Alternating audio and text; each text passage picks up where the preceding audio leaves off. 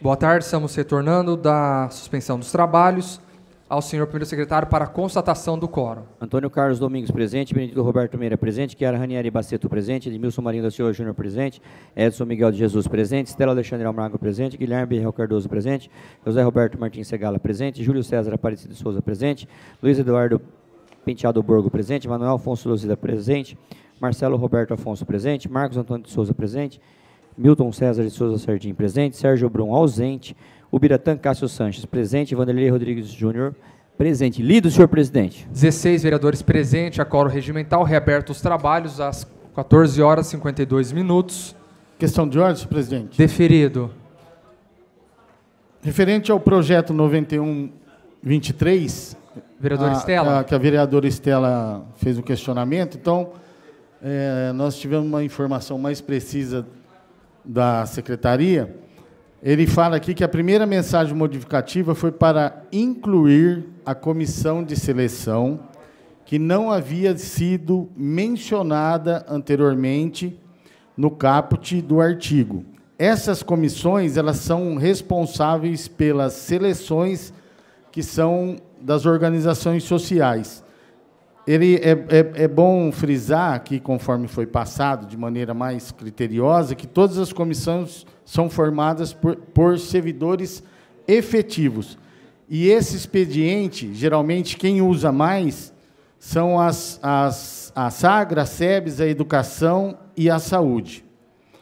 A segunda mensagem tem por objetivo não deixar os servidores que fazem as licitações sem pagamentos nas comissões. Em relação à alteração do, da, da licitação, mudou para a comissão de contratação, que antes era o artigo de licitação 8666 e o 10520, e a partir de, de, da, de agora é o número 14133. É isso daí que eles passaram para a gente aqui.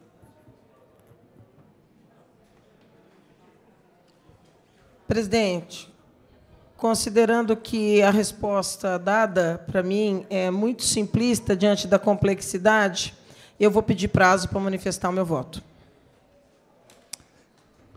O projeto está fora da pauta.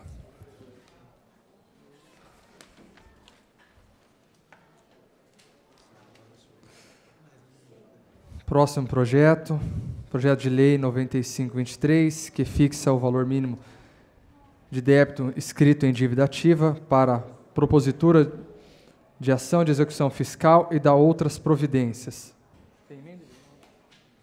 Referido processo está em discussão.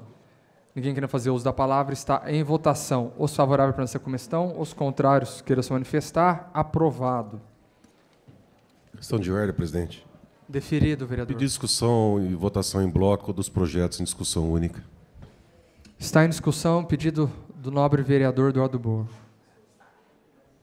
Ninguém querendo fazer uso da palavra em votação. Os favoráveis para essa comissão, os contrários queiram se manifestar. Aprovado.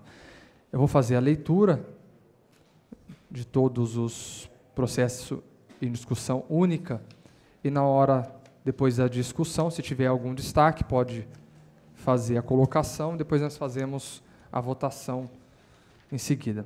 Processo 3/24, projeto de decreto legislativo que dá a denominação de rua Brás José da Silva Filho, uma via pública da cidade, autoria vereadora Chiara Ranieri Baceto.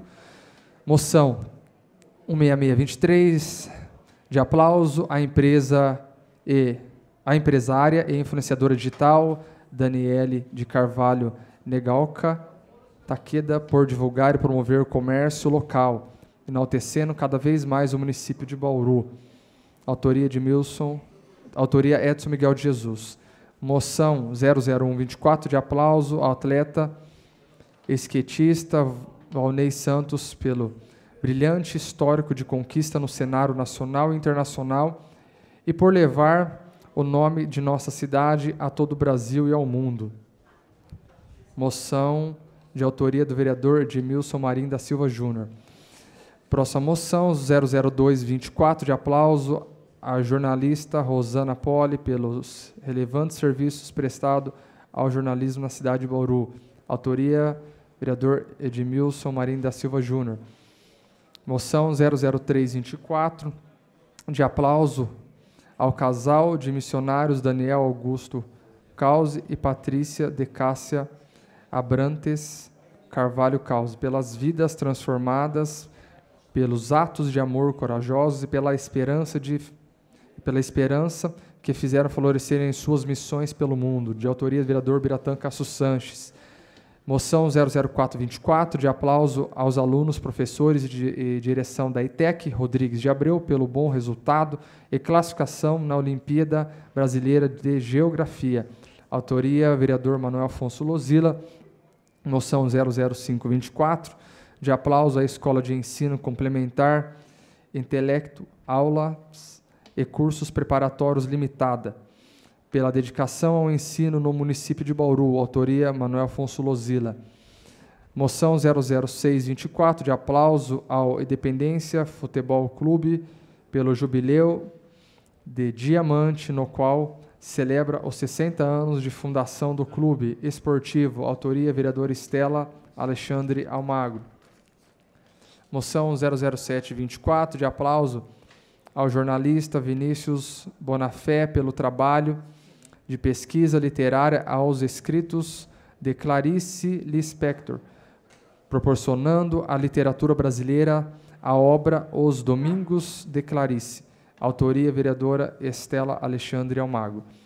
Moção 00824, de aplauso aos policiais militares responsáveis pelo resgate de um cavalo doente abandonado, bem como pelo constante zelo pela segurança e proteção da sociedade bauruense, Autoria vereador Júlio César Aparecido de Souza.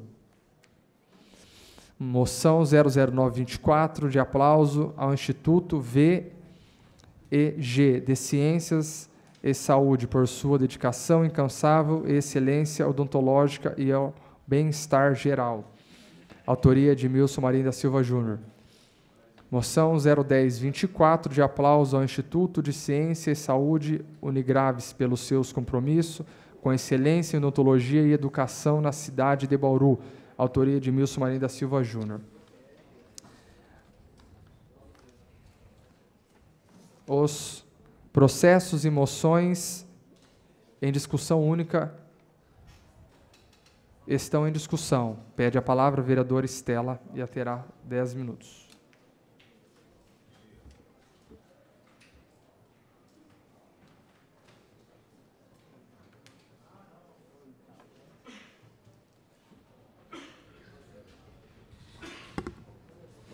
Presidente, vereadores, como é meu hábito, explicar aqui o porquê das moções que a gente se utiliza para homenagear entidades, pessoas, para protestar, para apelar, para repudiar.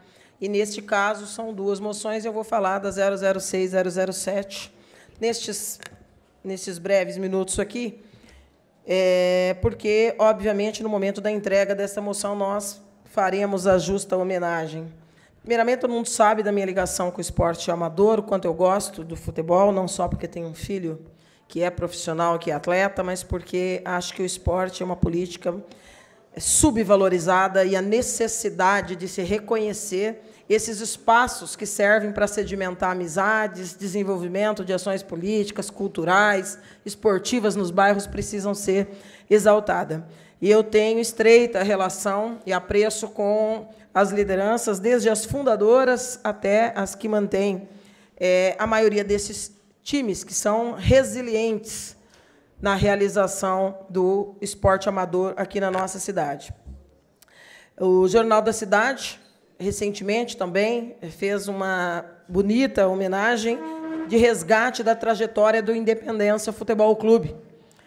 Está vizinho ali, né, vereador Guilherme? Está ali do lado. É, nosso país tem a prática do esporte como tradição, destacando-se como paixão nacional o futebol, exercício que congrega o cuidado com a saúde e a relação de amizade entre os grupos, por vezes nos clubes profissionais ou no campo de várzea da periferia das grandes cidades. É o caso da nossa. Foi assim que, no ano de 1964, em uma residência na rua Felicíssimo Antônio Pereira, um grupo de amigos liderado pelo senhor Márcio Odrias fundou a Sociedade Esportiva Independência Futebol Clube, hoje conhecido como Indepa. tendo como primeiro presidente o idealizador da nova gremiação e que posteriormente foi sucedido por Antônio de Oliveira, conhecido como Pé Quente. Ao longo dos anos, o clube enfrentou diversas dificuldades que resultou na ausência de disputas oficiais de alguns campeonatos. Todavia, um horizonte surgia a partir do ano de 84, quando o clube ingressou na Liga Bauruense de Futebol Amador. Desde então, grandes vitórias foram alcançadas pelo clube, sendo destaque a final do campeonato de 88, que ainda remanesce na memória dos torcedores do Indepa como a mais épica da história do clube, visto a mobilização do grupo pela disputa daquele torneio. Após décadas de sua fundação, no ano de 91, o Indepa conseguiu estruturar sua sede na Rua Tenre, espaço construído com muito suor e esforço dos moradores do bairro, recompensa que foi coroada com o primeiro título no ano de 2022, no qual o time desempenhou uma campanha impecável, levando a vitória ao final do campeonato. Pentacampeão da Liga Bauruense, o gigante da Zona Leste ergueu o caneco nos campeonatos de 2002, 2010, 2013, 16 e 19, demonstrando assim o resultado de um trabalho que envolve a dedicação da diretoria, jogadores e a torcida do clube. O Indepa inicia o ano de 24 celebrando o jubileu de diamante, comemoração que recorda os 60 anos da fundação do clube, que nasceu pela paixão deste grupo de amigos pelo futebol amador da nossa cidade. E é por isso a nossa homenagem pelos 60 anos do clube. O Vinícius Bonafé, jornalista, é, trabalha numa das emissoras locais, é, grande colaborador em grandes debates sociais, culturais e políticos alguém por quem particularmente, profissionalmente, tenho grande apreço e faço aqui o meu reconhecimento, agora exercendo aí nas redes sociais, se utilizando desse amplo espaço que as redes também proporcionam e se colocando como um crítico literário do cinema, da arte e também como escritor, né? apaixonado por, por Clarice Lispector, por sua trajetória, por seus escritos, esta homenagem, essa segunda homenagem que fazemos com as duas moções aqui do mês, também, para mim, é um orgulho poder retratar e justificar aqui, diante dos pares, o porquê desta homenagem. A cultura de um povo se constrói pelos costumes, tradições, religiosidade e expressões de incentivo artístico e político, formando assim um arcabouço que ladeia com a formação educacional proporcionando ao indivíduo o reconhecimento para o desenvolvimento dele próprio. Remanescente de um histórico de analfabetismo, o Brasil ainda progride com os índices de avanço ao acesso do sistema educacional. O Brasil ganhando contornos diante da atuação do poder público para garantir uma educação básica. Todavia, o incentivo à leitura e o universo que envolve a nossa cultura literária ainda carecem e muito de difusão e de fomento. É com esse propósito que o jornalista Vinícius Bonafé, o jovem Vinícius Bonafé, brinda a nossa literatura com a obra Os Domingos de Clarice, livro produzido como extensão do seu trabalho de conclusão de curso realizado na Universidade do Sagrado Coração o trabalho desenvolvido pelo jornalista compila textos escritos por Clarice Lispector nas colunas semanais do Jornal da Cidade, o que nem todo mundo conhece. Estudos que revelam 15 crônicas, 13 contos, uma resenha e um perfil, totalizando 30 escritos produzidos no período de outubro de 1971 ano em que eu particularmente nasci, abril de 1972, dos quais foram publicados originalmente pelo veículo de comunicação, o Jornal da Cidade. A publicação da obra Os Domingos de Clarice marca a estreia do jovem jornalista na literatura bauruense brasileira, contribuindo assim para a difusão da cultura do nosso país e da nossa cidade, referenciando a memória de Clarice Lispector, um dos maiores expoentes da literatura do século XX e também uma grande mulher e uma grande intelectual. Obrigada, presidente.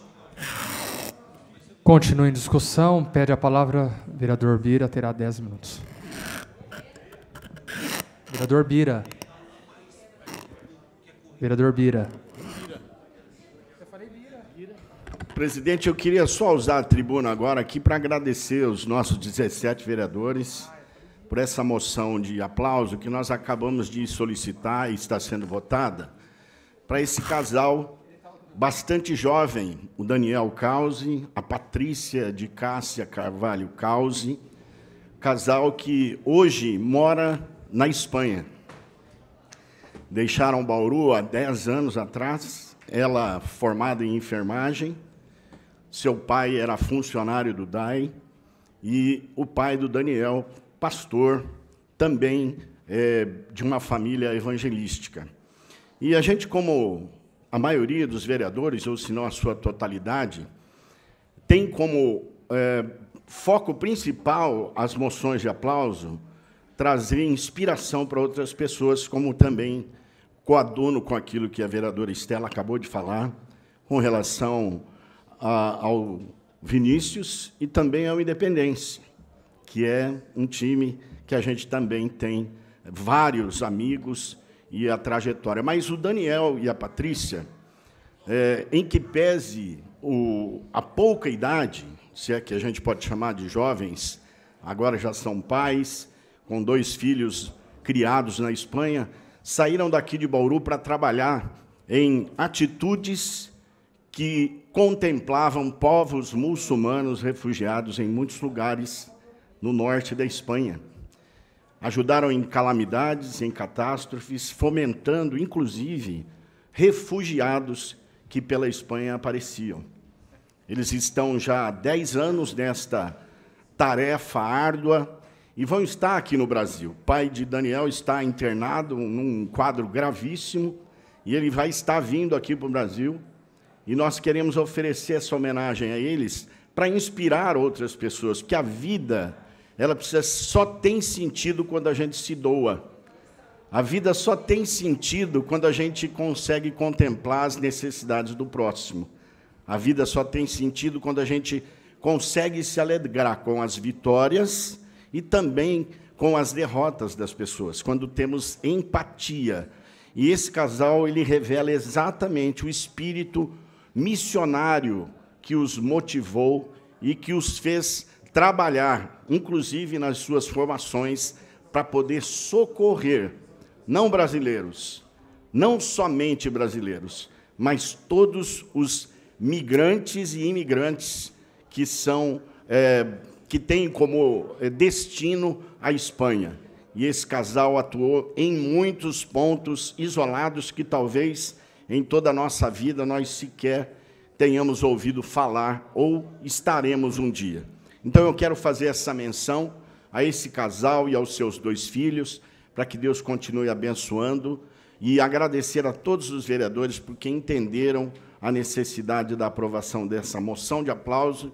E já quero convidar também todos os vereadores, quando nós estivermos aqui entregando essa moção, para que vocês possam conhecer esse casal que vale a pena estar é, a companhia deles, entendendo as motivações conhecendo o trabalho que é realizado a milhares e milhares de quilômetros do Brasil e que está atingindo não somente o povo espanhol, do qual sou também é, é, descendente, mas muitos outros países e povos que estão recebendo um carinho de jovens bauruenses, uma família de bauruenses que resolveu se doar por causas humanitárias. Então eu quero aqui que Deus abençoe cada um dos vereadores, suas famílias, por esse carinho. Pode não significar muito para você, pode não significar uh, muito para muitos de nós, mas eu tenho certeza que isso vai ser um alento, vai ser um, uma reenergização, um revigorar de forças para esse casal que vai continuar fazendo o seu trabalho e atendendo muitas e muitas vidas que são vítimas de catástrofes, de preconceitos e de tantas outras situações que a gente conhece muito bem. Então, eu quero aqui, mais uma vez, presidente, agradecer à Câmara e aos 17, 17 vereadores por essa honraria. Deus abençoe. Continua em discussão. Ninguém queria fazer mais uso da palavra. Está em votação. Os favoráveis permanecer como estão, os contrários queiram se manifestar. Aprovado. Passaremos agora às explicações pessoais. Pede a palavra. Está escrito, primeiro orador escrito, Beto Móveis, abre mão. Coronel Meira, abre mão. Vereadora Chiara, abre mão. Vereador Locadora, abre mão. Vereador Edson, abre mão. Companheira Estela, não abre mão.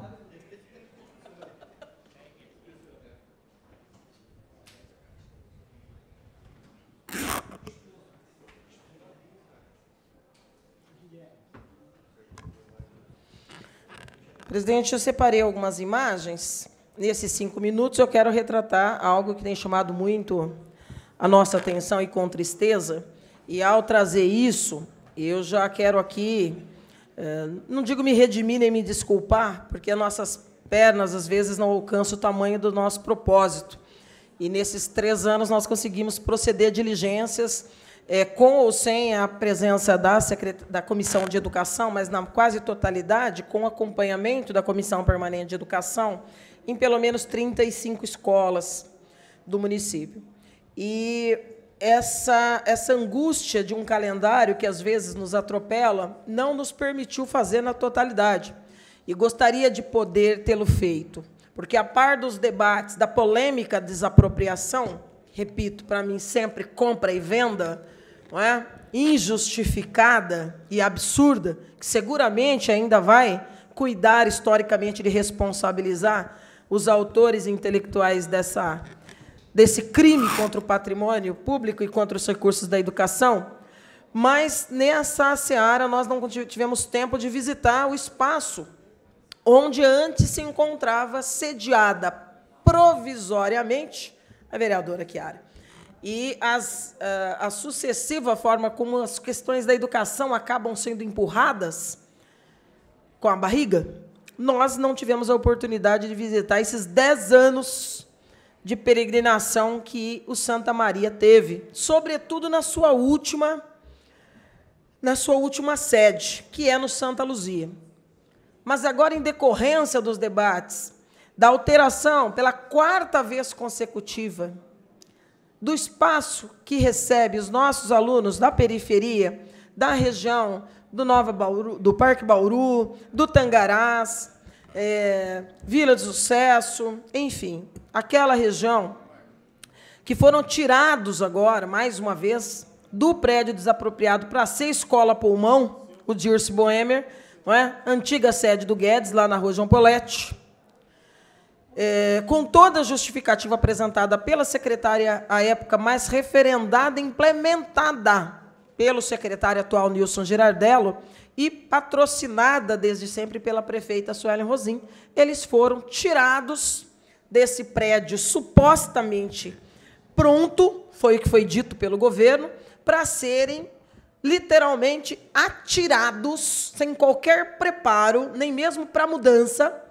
neste prédio que abrigou Santa Maria, na região de Santa Luzia. Agora, tem um fato que, para além da precarização encontrada lá, para além do absurdo que é esse debate da escola pulmão e da hipocrisia que levou o governo a rasgar tantos milhões de reais da educação de maneira irresponsável, esse prédio velho, precário, absolutamente precário, e quando eu digo precário, eu digo do ponto de vista do quintal, do muro que nem existe, porque ainda é tapume.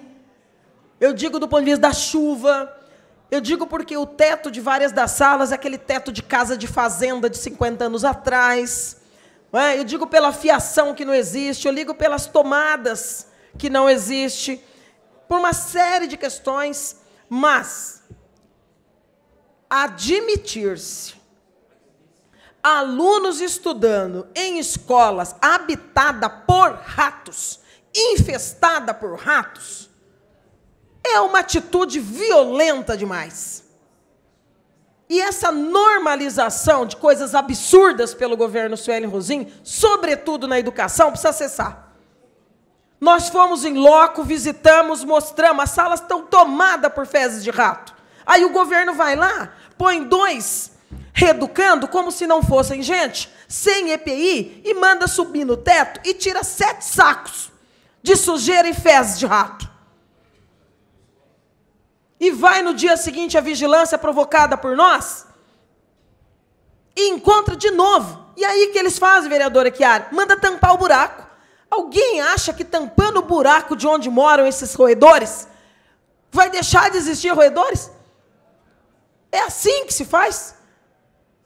Eu não vou ter tempo nos cinco minutos, mas na, na, no hall da extraordinária eu vou mostrar as imagens. As imagens do antes, do depois, o laudo da vigilância sanitária que a prefeita está ignorando, passando por cima, violando direitos. E ontem eu cumprimentei aqui o secretário Nilson Girardello de, da seguinte maneira: Boa tarde, secretário. Que triste cumprimentar um secretário que acha normal crianças, professores, servidores e ratos conviverem no mesmo ambiente de trabalho. Próximo, vereador escrito, vereador Berriel, pede a palavra, terá cinco minutos.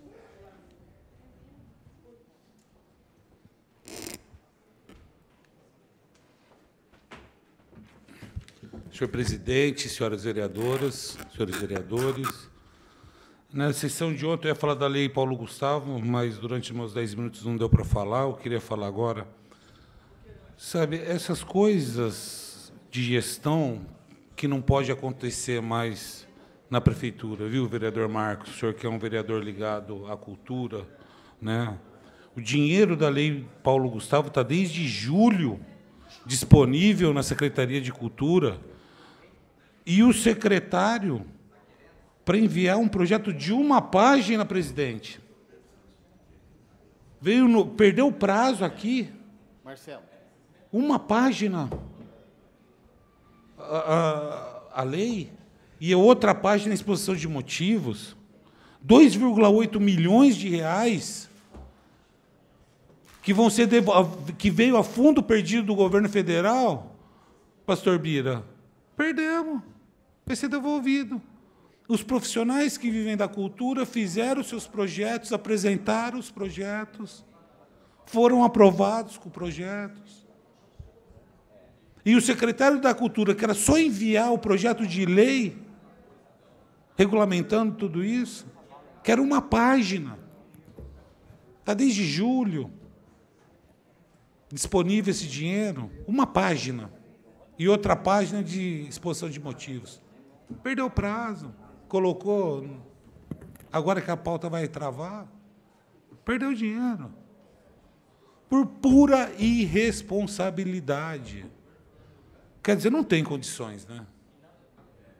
De ser secretário da cultura. Porque para perder prazo, para perder 2,8 milhões de reais, não tem condições de ser secretário. Um projeto de lei de uma página falar que não teve tempo, para ir no bloquinho do Bebê Batata, estava lá, viu, pastor? O secretário da. Não, vamos falar real. Se é para falar real, né, vereador Marcelo? Vamos falar real. O secretário da Cultura curtindo o bloquinho do Bebê Batata. Uma, todos os artistas da expectativa para segunda-feira, 10 horas da manhã, ele entrar com, com o projeto de lei de uma folha, uma folha, entre o projeto de lei e a exposição de motivos, perdeu o prazo. É muito ruim, né?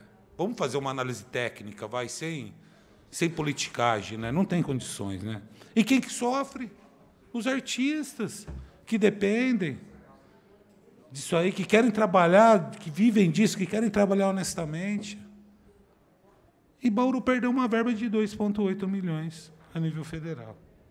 Então, essas coisas não podem acontecer. Meu. Não pode acontecer. A gestão está tá ruim.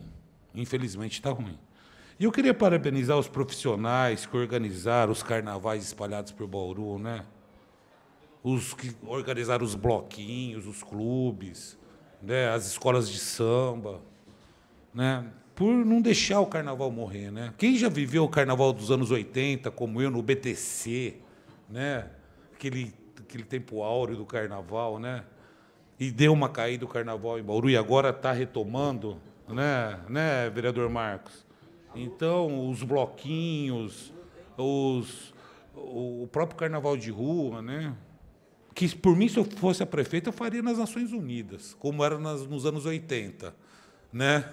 que bombava, meu, bombava. Que eu acho que é o local ideal ali na, na porteira do Rio Grande, até um pouquinho para baixo. Mas parabenizar os profissionais, porque não deixaram essa, essa festa acabar, né? essa festa tradicional aqui em Bauru. Né? Então é só isso, presidente. Obrigado. Próximo vereador fazer uso da palavra, está inscrito, o doutor Segala. Pede a palavra, terá cinco minutos.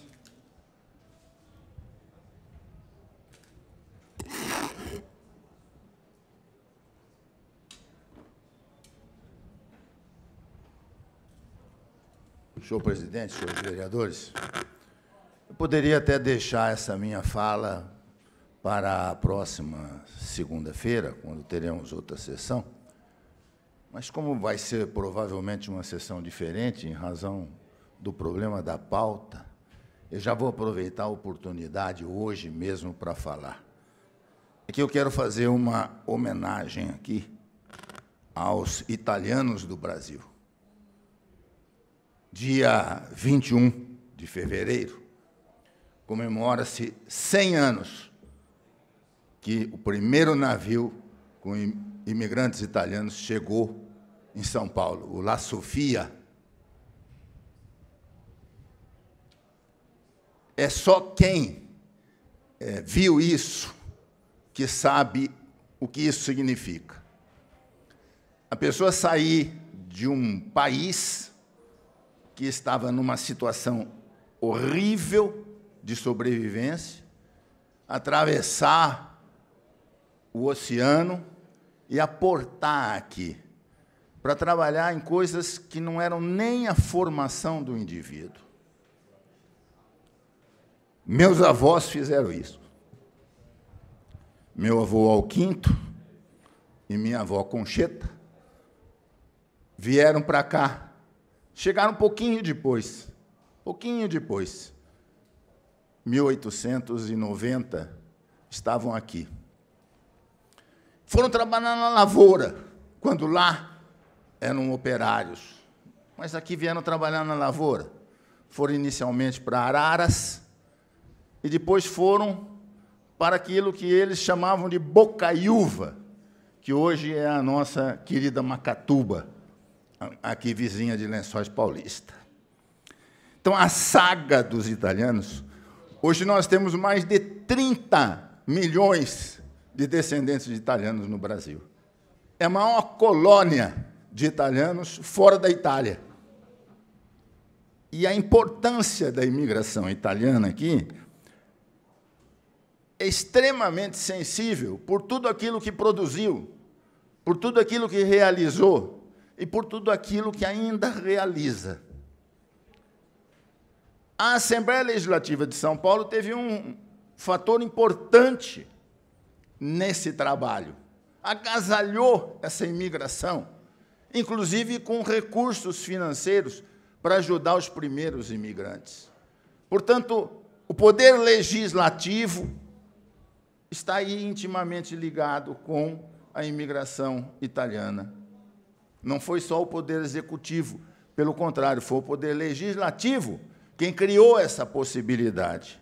E nós aqui no legislativo hoje aproveitamos essa oportunidade para homenagear essa data e, consequentemente, todos os imigrantes italianos e os seus descendentes que ainda hoje vivem aqui no nosso país. E nós todos dividimos tudo aquilo que eles trouxeram para cá de bom, com a sua experiência, com o seu trabalho, a, a culinária italiana. É, eu, eu, eu me emociono porque eu fui à Itália com os meus irmãos para fazer o caminho que os meus avós fizeram.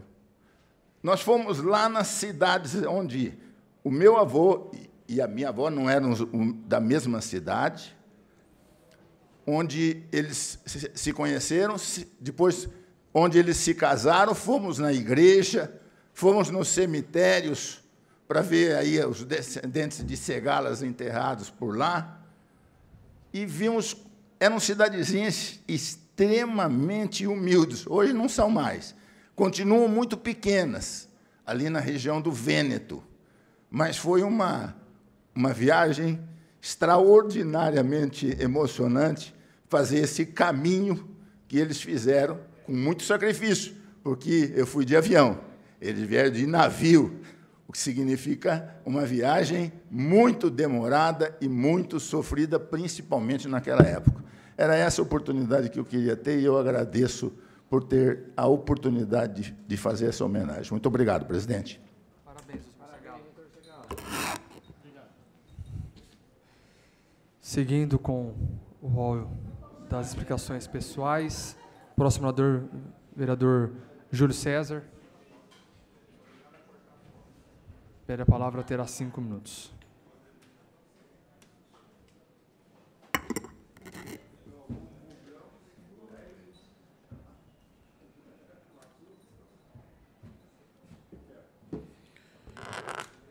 Boa tarde, senhor presidente. Boa tarde a todos os vereadores.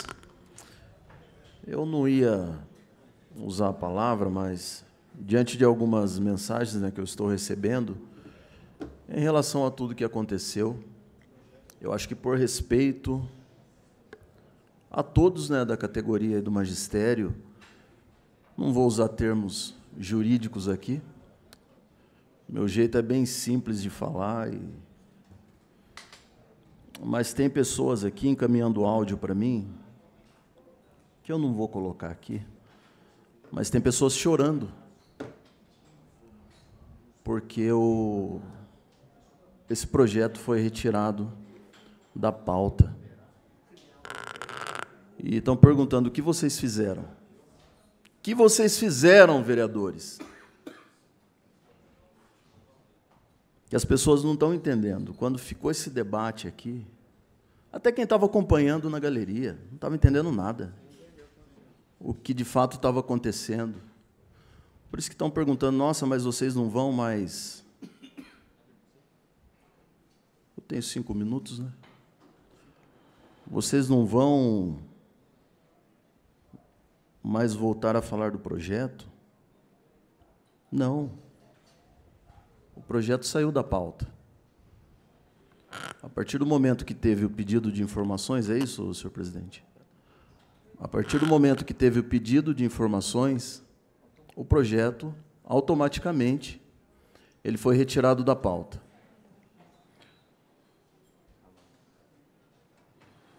E hoje pela manhã eu participei da, da reunião.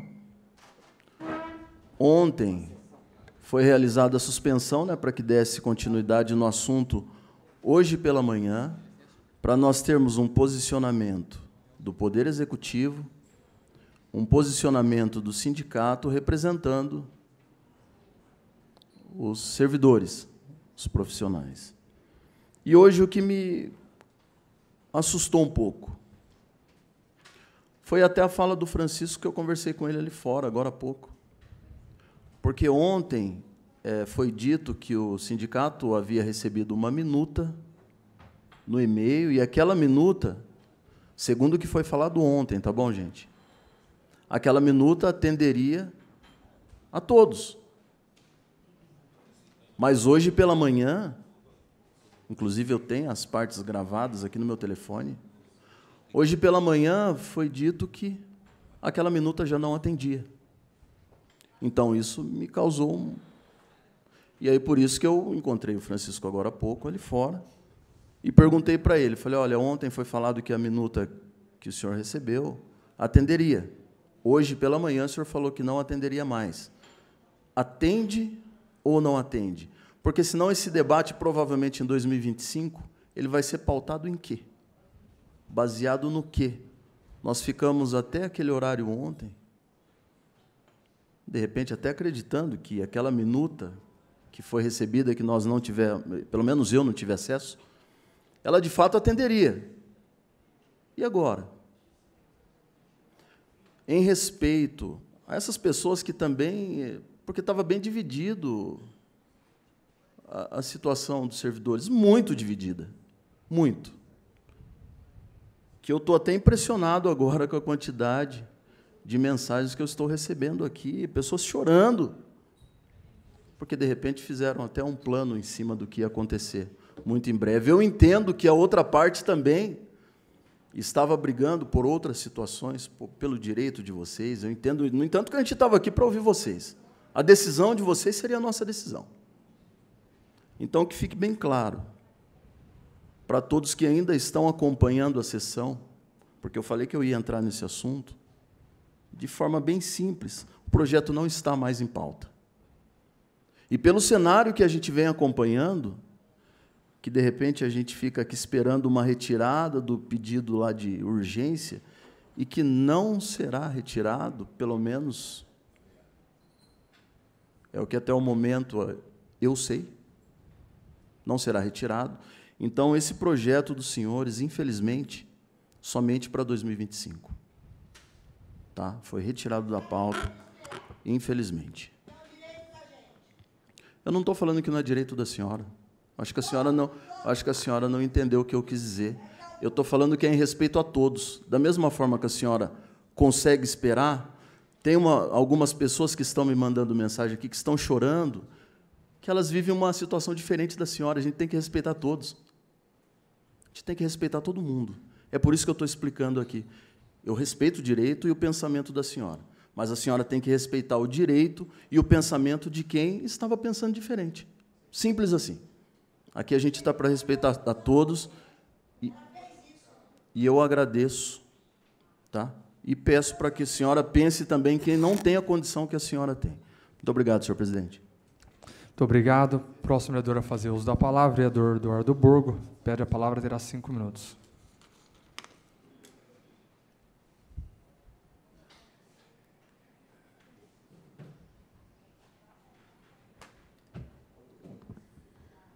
Senhor presidente, vereador Júlio, é difícil que eu vou falar aqui, mas eu vou ter que falar. Se demorar até 2025 para votar esse projeto, primeira responsabilidade é da prefeita municipal, que colocou o regime de urgência para ser votado nessa Câmara. E a segunda responsabilidade são dos vereadores que aprovaram esse regime de urgência, que foram 12 vereadores, contra quatro votos. Porque se não tivesse aprovado o regime de urgência, iria tramitar esse processo da ET normalmente. É graças ao regime de urgência que esse projeto está travando a pauta. Então, espera um pouco. Eu votei contra o regime de urgência. Kiara também. Estela também. Locadora também. Então vamos colocar os pingos nos is aqui. Agora, para não ter problema, a prefeita que retira o pedido de urgência. Vou dar outra sugestão. A prefeita não tem urgência em responder às questões, em votar o projeto? Eu fui nomeado relator hoje da Comissão de Meio Ambiente. Eu não esperei meu prazo no último dia para oferecer questionamentos, eu passei o recesso estudando.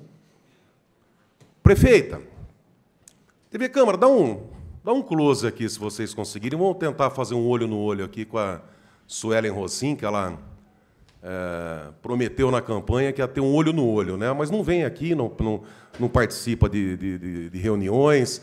Mas, prefeita, olho no olho aqui, ó, com a senhora. A senhora tem urgência na votação desse projeto? Eu já protocolei hoje mesmo as 53 questões que precisam ser respondidas, prefeita. Se a senhora tem tanta urgência assim, responda à Comissão de Meio Ambiente na próxima segunda-feira. Resolveu. Se a senhora não quiser tirar a questão de urgência, tá? E a senhora é, é mimada, né? A senhora quer ficar queda de braço com a Câmara, depois em rede social e ficar aí com, com os blá blá blá da senhora. Retira o regime de urgência ou então responda as 53 questões que eu fiz. Se a senhora responder até segunda-feira que vem, mas não adianta vir com mentira, com historinha, falando que ah, nós já respondemos. É, responda de verdade, aqui não tem nenhum moleque, não. Se a senhora responder até segunda, eu prometo que peço uma audiência pública para a próxima semana já. E a gente resolve esse problema em uma semana. Então tudo vai depender da senhora, prefeita. Responda. Agora a urgência é com a senhora. Agora, vereadora Chiara, a gente vai saber se essa menina mimada queria travar a cidade ou realmente tinha pressa em votar esse projeto. Porque nas coxas não vamos votar. Da minha parte não vai ter carta em branco, da minha parte não vou entregar, não vou votar a favor que se entregue um projeto de drenagem de 30 anos, prorrogáveis por mais 30, a 3 bilhões e meio de reais.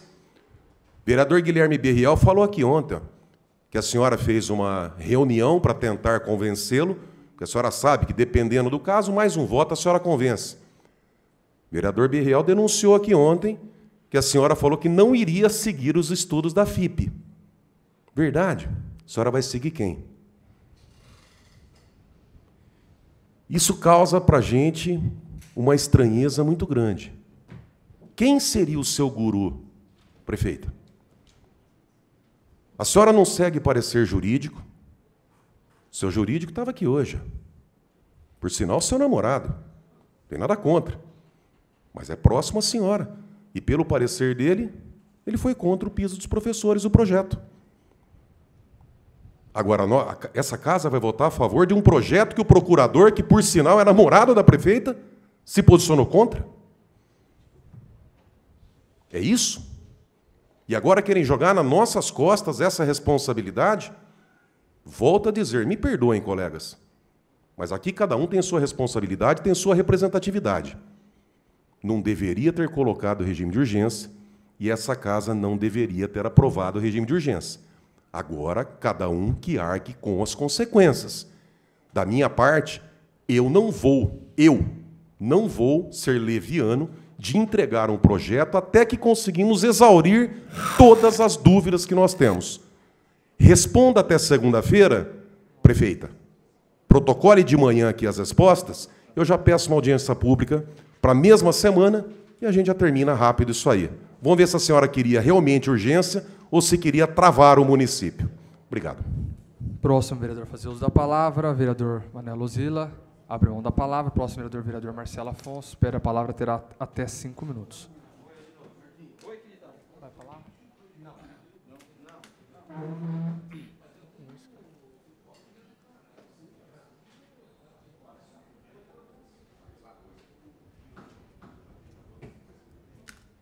Boa tarde a todos. Sempre agradeço a Deus pela oportunidade de estar aqui nessa casa. Quando tem algum resultado, venho aqui na tribuna para agradecer. Fizemos uma fala aqui sobre Rio Batalha, três anos aí de mandato, três anos falando a mesma coisa. Mas quero agradecer aqui todos os vereadores pela homenagem ali da Avenida Salvador Afonso. Meu pai esteve aqui nessa casa por seis mandatos e não tinha nem nome de rua, né, em nossa cidade. Então, é gratificante está exercendo aqui o mandato como vereador. Meu pai não está mais aqui, faz 11 anos que faleceu. Faleceu muito novo, 66 anos, faz 11 anos do falecimento. E tive a felicidade né, de homenagear meu pai nessa oportunidade e toda a minha família também é, agradecida. Né? Os vereadores aqui aprovaram essa minuta. A Avenida Salvador Afonso já é realidade, é ali na entrada da Dr. Nunes de Assis, acesso com o Meridota, uma avenida importante, né, até perto aonde moramos, é 51 anos que eu moro no mesmo local, ali no Jardim Godói, região norte. E meu pai sempre, tudo que nós tivemos eh, em nossa vida, né, financeira, foi sim naquela região. Então, mais do que justo essa homenagem e que Deus abençoe todos os vereadores aí. Tem um vídeo de 1 minuto e 22 que tivemos ali junto com a TV Câmara. Então fica aí. Também quero dizer aqui para o Dr. Segala que a minha bisavó também é italiana e o meu avô ele também é imigrante português, né? Então tem uma mistura aí, né? Então fica aí também essa homenagem. Pode pôr TV, por favor. A Avenida Salvador Afonso, principal entrada para o núcleo Meiridota, em Bauru, passa por obras de melhorias. Nós ampliamos né, a pista de rolamento né, com o objetivo de se tornar pista duplas em ambos os sentidos. A gente vê que só um lado foi ampliado, né? o outro continua como pista simples. O que vai ser feito para para poder dar esse escoamento? É, nós ampliamos para o lado do canteiro central, né? tivemos que fazer uma intervenção também no sistema de drenagem e quem vai definir propriamente o local é a Endurb. Qual foi o objetivo dessa obra? Por que, que vocês é, mexeram nessa avenida? Aqui? Nós mexemos nesse ponto para fazer uma concordância, né? como teve o dispositivo realizado pela Via Rondon ali na, mais para frente, próximo da rodovia, nós tivemos que fazer uma concordância que vem sentido bairro-centro. Isso vai melhorar o trânsito? Isso vai aumentar o fluxo, né? vai caber mais veículos na via. A avenida leva o nome do pai do vereador Marcelo Afonso, que esteve no local acompanhando os trabalhos. Agradecer já ao executivo, a prefeita, né, pelo alongamento aqui dessa via o tráfego bairro-centro alongando e todo o recap dessa avenida tão importante. E hoje temos esse privilégio de estar homenageando com o nome do meu pai, que foi vereador na cidade, essa avenida Vereador Salvador Afonso. É uma obra que é necessária, né? depois do dispositivo entregue aqui pela Via Rondon, e veio assim a somar esse alargamento aqui dessa avenida tão importante, né? Região, ligando a região leste da cidade com o centro e outras demais regiões da nossa cidade. Então fica aí o agradecimento. Também quero agradecer. Às vezes viemos aqui, cobramos a Secretaria de Esportes, fizemos alguns pedidos ali no Distrital Valdemar de Brito, estivemos ali com a TV também. Estão fazendo ali uma pequena ação paliativa, mas melhor do que não ter nada, né? E vão sim anunciar até uma cabine de imprensa ali. Então a melhoria ali também tem um projeto social ali do América Esporte Clube, do Jair. Tem que tirar o chapéu para o Jair muito tempo ali com aquela meninada, mais de 60 jovens ali. Todos sabem que o distrital ali, Valdemar de Brito, não tem dimensão né, de distrital, então para esses big boys campeonatos intermediários é essencial. Então temos que parabenizar quando algo acontece. Pode pôr para mim, TV.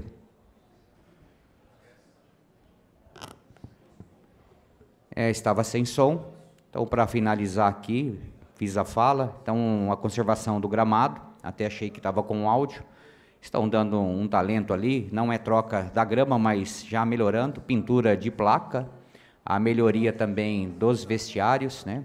E também sempre falo do retorno de caseiros, né? Aí tem uma residência que vai aparecer ali na imagem, uma residência toda danificada, e é nítido quando tem um caseiro, que nem no Redentor ali tem, no Distrital, a, a situação do campo ali é diferente. Ali também no distrital do Gasparini, tem um caseiro, olha só essa casa, toda arrebentada, né? Então acredito que isso tem que ser pensado de forma diferente. Não temos aqui a guarda municipal que também defendemos e também não temos aí o caseiro. Então essa responsabilidade seria ideal para nossos campos e conservação, né, já desses espaços esportivos. Então fica aí mais uma vez parabenizar dessa vez a Secretaria de Esportes que anunciou uma casa de imprensa ali. Deus abençoe, presidente. Obrigado aí mais uma vez pela essa, essa oportunidade. Muito obrigado, boa. Próximo vereador fazer uso da tribuna, vereador Milton Sardim. Pede a palavra. Terá cinco minutos. Senhor presidente, senhores vereadores, olha, eu vou falar nossa, ontem eu fiquei extremamente chateado com o que aconteceu nessa casa. Extremamente chateado com o que aconteceu nessa casa. E hoje, vereadora Estela retira o projeto e vem botar a culpa no governo. Ah, pelo amor de Deus, vereadora. Pelo amor de Deus, vereador Borgo. O senhor suspendeu a sessão ontem, vereador Borgo, para não chegar num acordo hoje de manhã. A vereadora Estela e o sindicato e o sindicato? Que vergonha! Vergonha! Ver... Vai deixar? Vai deixar eu falar? Vai deixar eu falar? Vergonhoso! O seu Francisco pegou o microfone de aparte e pediu para mudar uma, uma, o texto para que fosse alterado o texto, porque ia ficar em conformidade do que ele estava pensando. Tirando isso, ah, viu que estava todo mundo envolvido para que tudo fosse votado, e deixasse a maioria, a maioria, eu digo a maioria, das pessoas que estavam querendo que votasse aqui,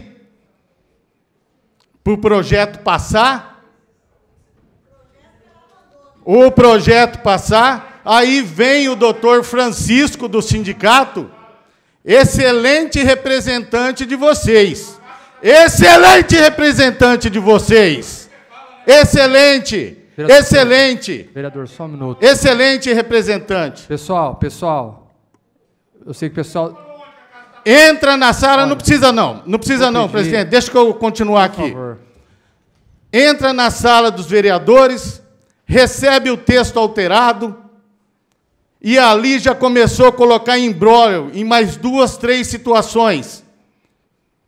Como que o senhor afirma o negócio aqui, se mudasse o texto, o senhor iria receber e chega lá, o senhor troca tudo, vira tudo uma bagunça. Manipulados as pessoas que estavam aqui, e metade delas queriam receber o voto nosso aqui, independente de quem votasse ou não a favor.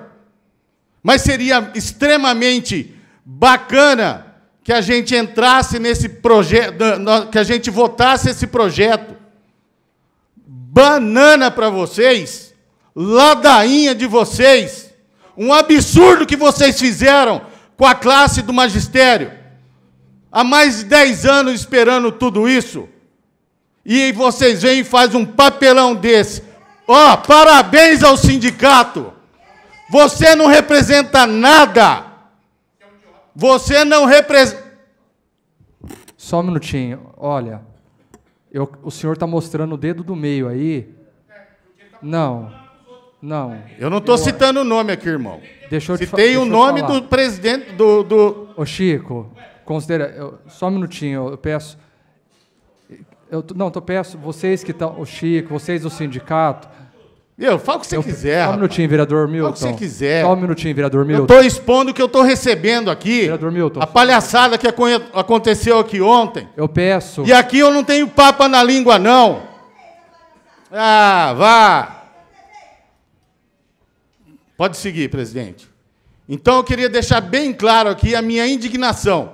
São feitas várias reuniões aqui, todo mundo tem direito disso daí, mas quando chega na mão do sindicato, sempre tem uma vírgula.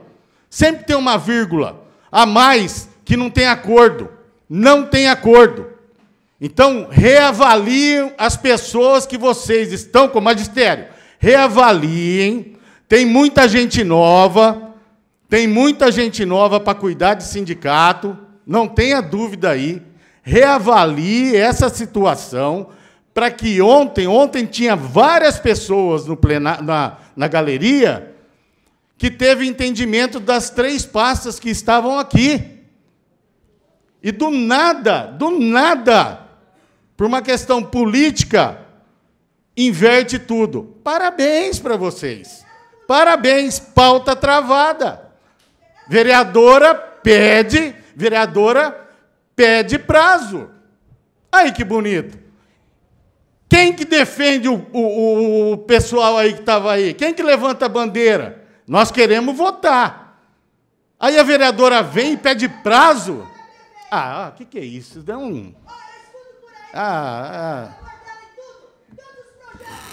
Não pode se manifestar. Eu peço, por favor, que os representantes que estão aqui na galeria não pode fazer a manifestação. Então, olha, olha só, só para concluir. Eu fiquei extremamente chate- chateado com o que aconteceu hoje. Respeito todos os vereadores aqui, não tenha dúvida disso. Mas quem defende uma causa, retirar projeto de pauta, isso não é coisa que se faça. E ó, reveja a questão do sindicato. Tem gente nova aí para ajudar, não para travar. Muito obrigado, senhor presidente. Continua o rol de oradores inscritos. Próximo orador, orador Biratã Casso Sanches. Pede a palavra, já terá cinco minutos.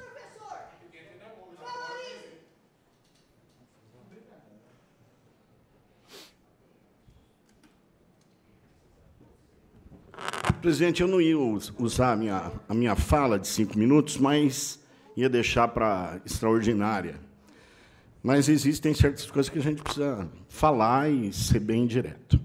Primeiro, quero agradecer a presença da minha esposa, querida Cleonice, está ali, minha filha Letícia está ali também, o Renato Bidi, craque de bola também, está ali. São bem-vindos, são convidados da gente. Eu não iria falar nada, mas eu me sinto no direito de falar.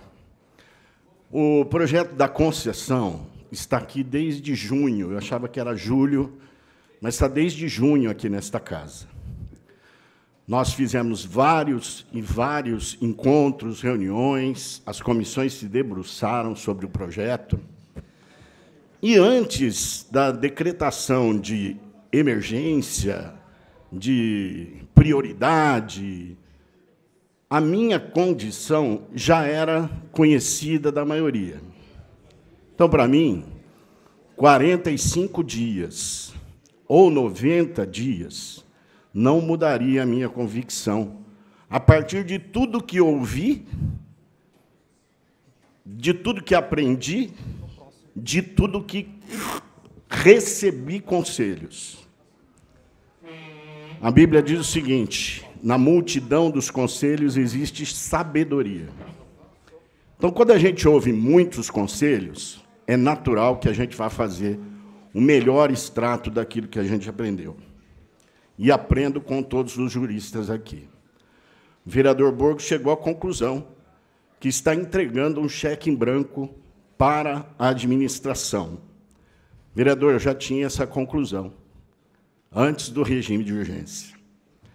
Já tinha, na época das audiências e reuniões públicas que aqui fizemos, do consistente relatório da vereadora Chiara, da Comissão de Economia e de todos os técnicos que aqui falaram, e também dos técnicos da FIP, que, para mim, nada falaram. Então, a minha convicção, com 45 dias de prazo, ou 90 dias de prazo, não ia mudar em nada. Por isso, eu reitero o que já falei anteriormente. O meu voto é não. Vou reiterar, não quero. Não quero. São 30 anos prorrogáveis para mais 30 que o senhor exaustivamente o senhor fala, e eu concordo ipsiliteris. Concordo totalmente com o senhor. Então, essa convicção não vem para mim de agora, ou de emergência, ou de urgência. Eu já tinha essa convicção. Então, vou reiterar. Vindo o processo para cá, e eu respeito todos os pareceres respeito à decisão de cada um dos senhores. Para quem não sabe, eu já tomei aqui uma invertida de 15 a 1, né, Coronel Meira? Mas não perdi a minha convicção. Porque ninguém pode votar contra a sua consciência. A minha consciência é essa hoje. E vai continuar. Travou a pauta? Eu não sou executivo. O executivo tem mecanismos para poder fazer com que essa pauta seja destravada. Eu creio que isso deve ser considerado. O problema era a drenagem, eu dei aqui uma sugestão, volto a dar a sugestão novamente. A Nações Unidas está uma calamidade. Podemos decretar aqui o. Exatamente, exatamente. Só um minutinho, só um minutinho, tem razão, vereador. A senhora tem razão. Só um minutinho. Só que os vereador. atores agora somos nós. Então. Eu vou, eu vou pedir, Caberia a nós. mais uma vez, vereador, só um minutinho, por favor, não. a gente acresce. Sim, aqui. senhor. Quando a gente recebe na casa servidores que vêm na casa pela primeira vez, não sabe que não pode se manifestar, a gente entende. Mas quando nós estamos falando de pessoas do sindicato que sabem como funciona o regimento da casa, a gente pede, por favor, que não faça esse tipo de intervenção, Chico, por gentileza. Eu estou pedindo para o senhor, para o senhor colaborar também, nos ajudar, porque é muita falta de respeito com essa casa. É muita falta de respeito. Quando um vereador está falando aqui e as pessoas estão gritando aí ao fundo. Precisa, os vereadores precisam ser respeitados, gente. Tragam faixas, ficam de costa. Vocês, falam, vocês, podem, vocês podem se manifestar, mas vocês não podem ficar interferindo o tempo todo na sessão. Por favor, Presidente, eu peço. respeitem. Respeitem os vereadores que foram eleitos aqui. Por favor.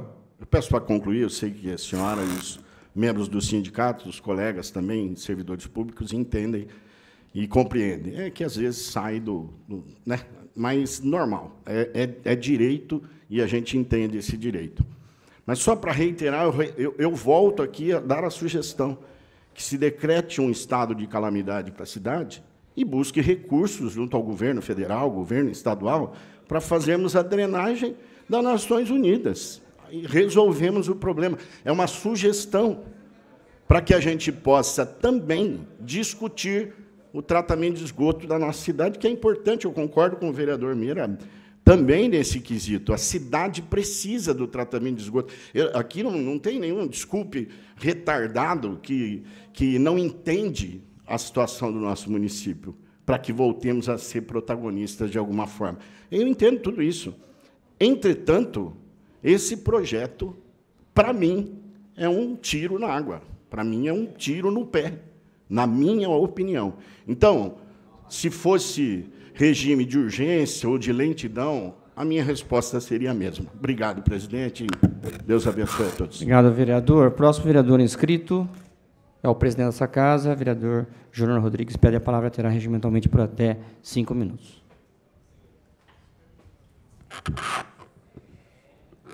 Boa tarde a todos que nos acompanham aqui na casa, no plenário.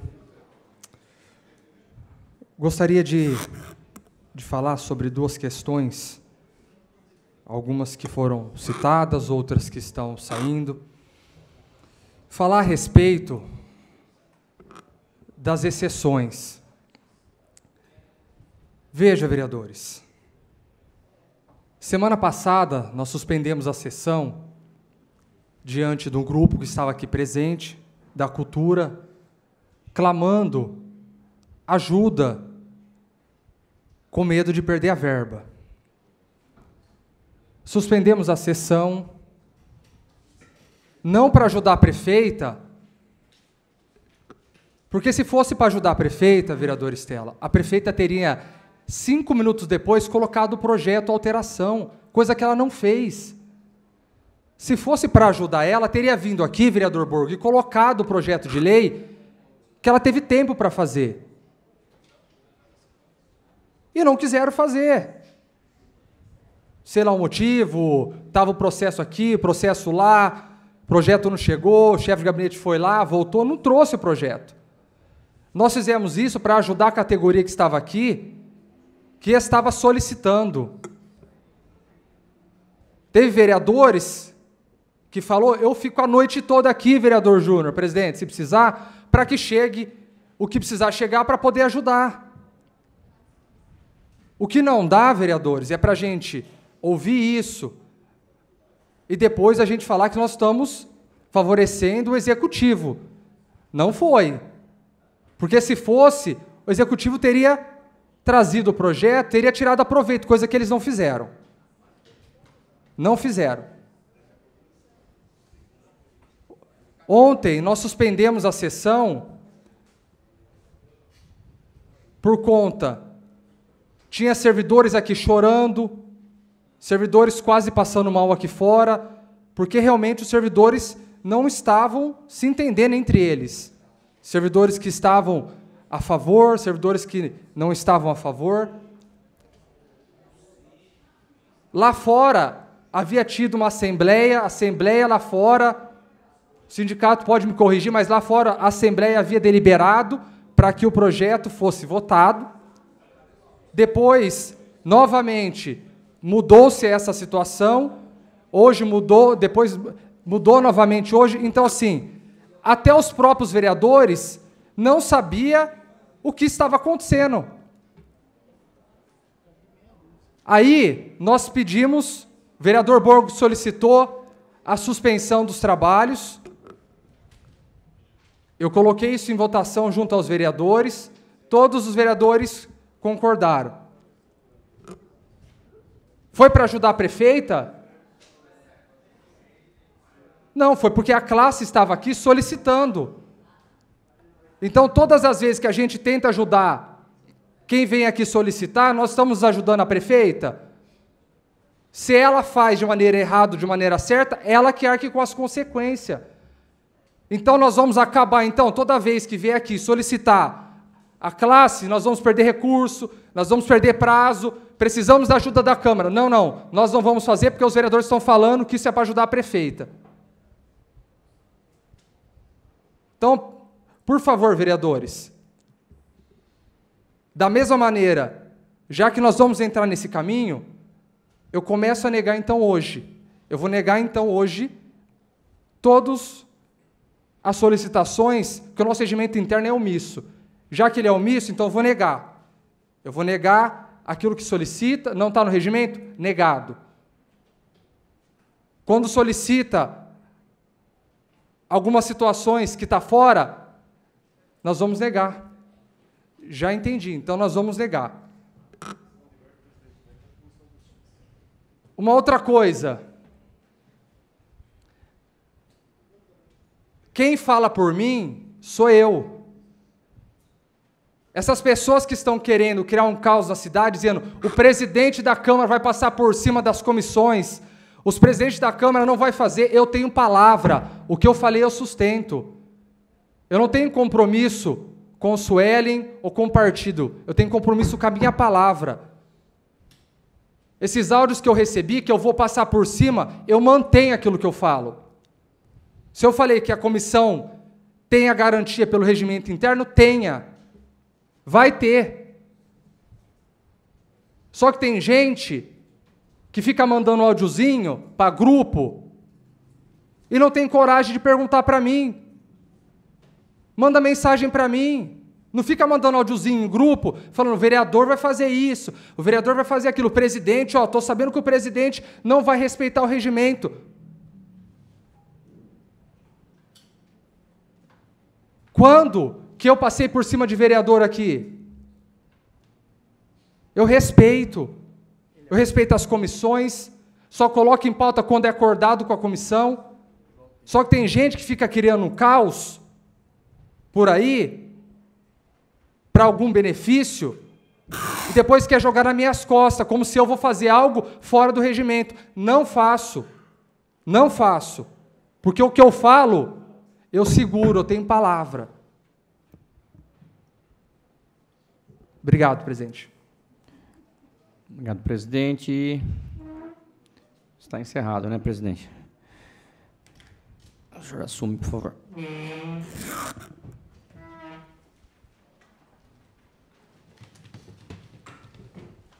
Passaremos agora um minuto de silêncio. Requerido pelo vereador Manuel Lozila, Geni Grandini. vereador Manuel Lozila também solicitou a senhora Maria Aparecida Cruz de Castro.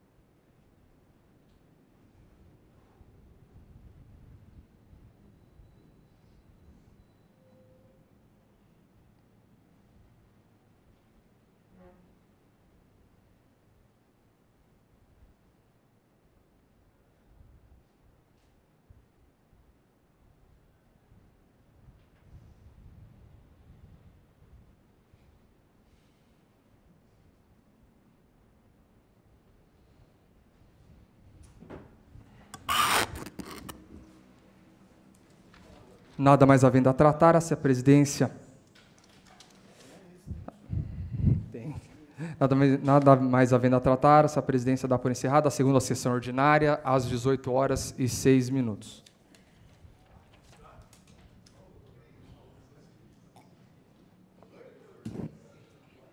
Passaremos agora a primeira sessão extraordinária do dia 16 de fevereiro de 2024 ao senhor secretário para proceder à chamada dos senhores vereadores.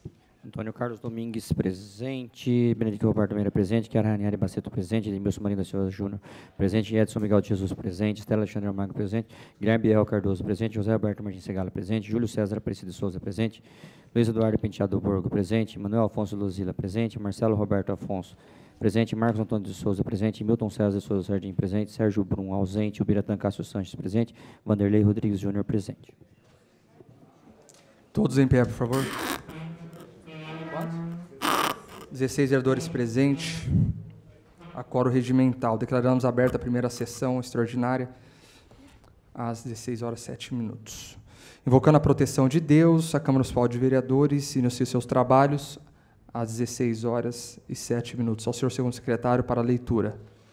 Hão de vir anunciar a justiça dele ao povo que há de nascer, contarão que foi ele que um fez. Lido, senhor presidente. Questão de ordem, senhor presidente. Solicito a dispensa da leitura da ata da sessão anterior por falta de tempo hábil para confeccioná-la. Está em discussão o pedido de dispensa da leitura da ata da sessão anterior. Ninguém quer fazer uso da palavra. Está em votação. Os favoráveis para essa comissão, os contrários queiram se manifestar. Aprovado. Passaremos em seguida ao rol de oradores inscrito. O primeiro orador inscrito é o vereador Antônio Carlos Domingues. Pede a pa... Abre mão da palavra. Próximo orador inscrito, o vereador Benedito Alberto Meira. Pede a palavra. Terá cinco minutos.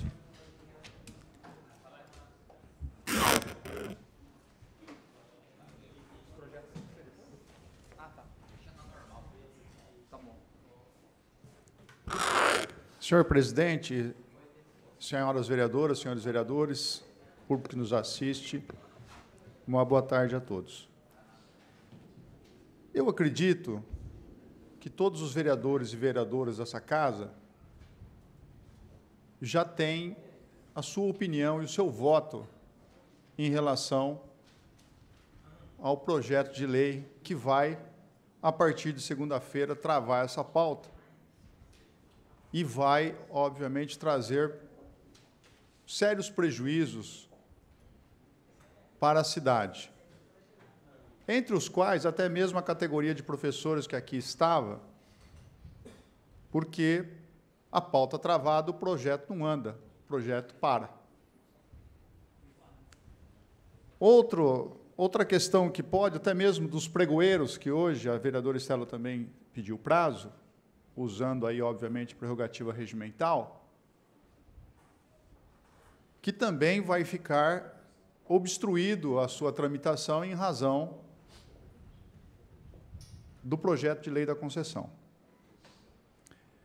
Eu tinha até um vídeo que eu ia mostrar, mas eu vou deixar para um momento oportuno, né? que algumas pessoas defendem aqui, nossa, nós temos 4% de esgoto tratado na cidade de maneira muito bem feita, muito bem realizada. A hora que eu mostrar o vídeo para os senhores e senhoras aqui, vocês vão ficar decepcionados com o que tem lá.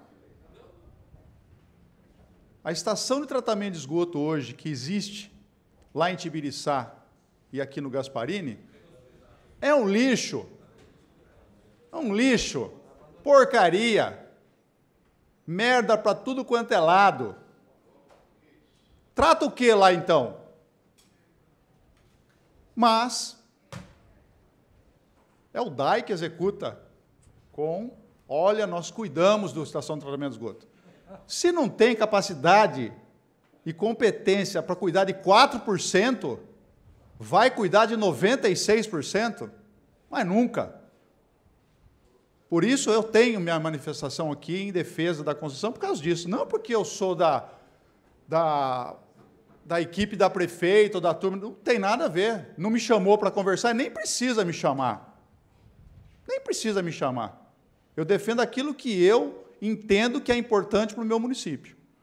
E recentemente, conversando com, alguma, com uma professora, fui abordado por essa professora em determinado dia, e eu pacientemente a ouvi, e ela colocou lá uma série de dificuldades por causa por que do projeto, isso, aquilo tal. E ela seria uma dessas beneficiárias caso o projeto tivesse avançado e fosse aprovado.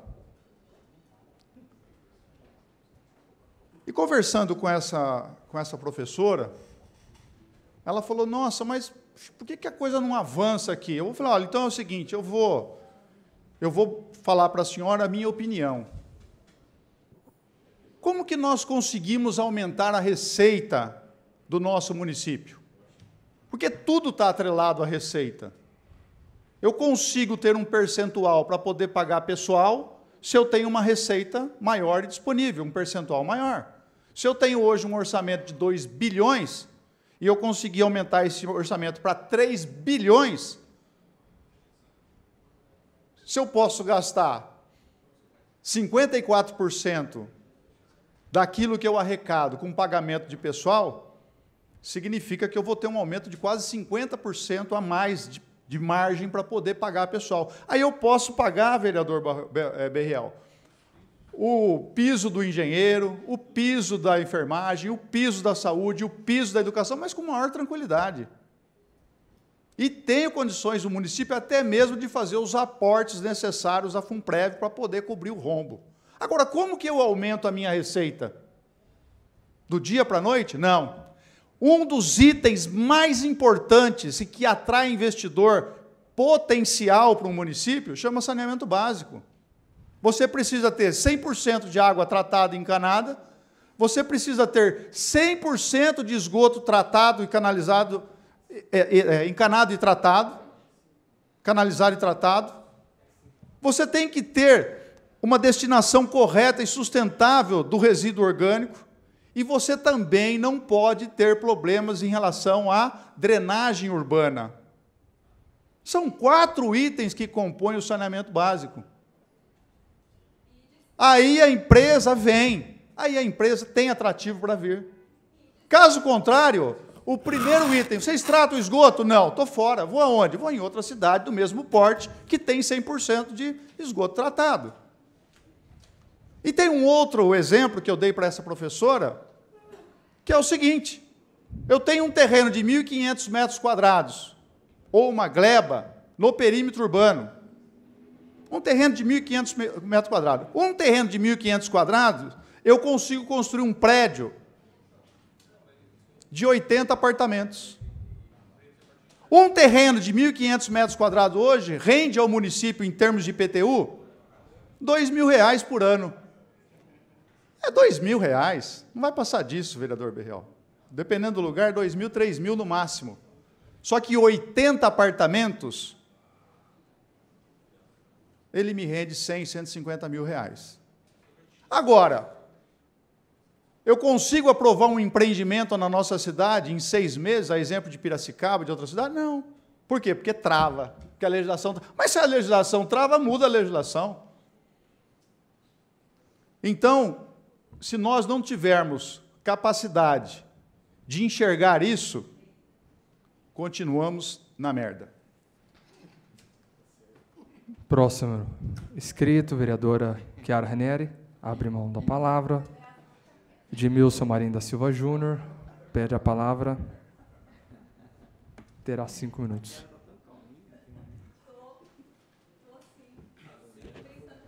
Boa tarde, presidente, vereadoras, vereadores, todos que nos assistem, nos acompanham.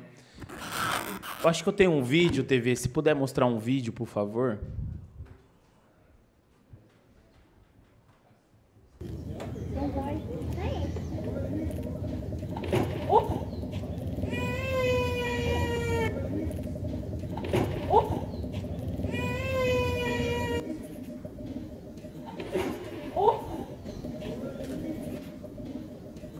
Obrigado, TV.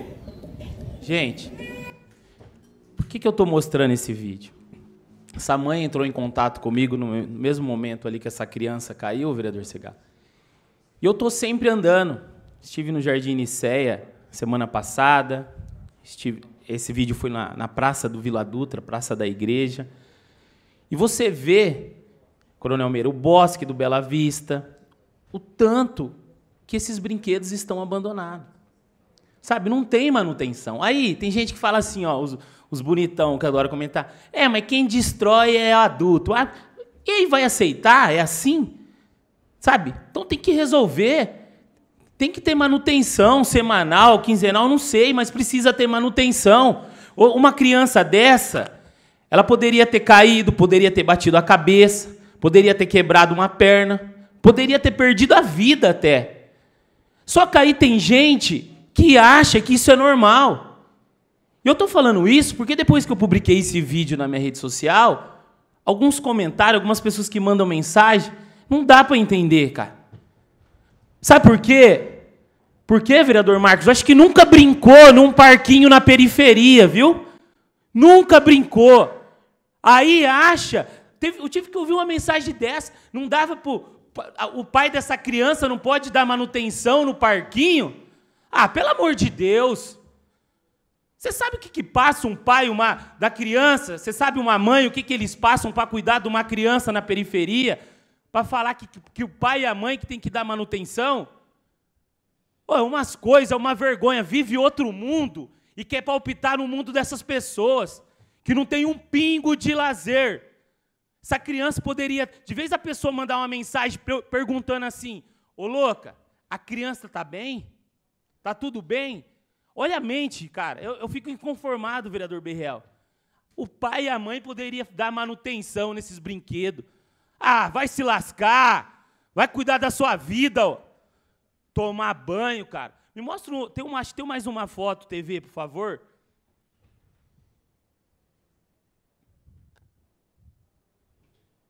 Isso daí foi essa madrugada no UPA. Pedrada. Um usuário invadiu dando pedrada. Por pouco não acertou um paciente. Sabe por quê? Porque o UPA não tem vigilante, o UPA está abandonado.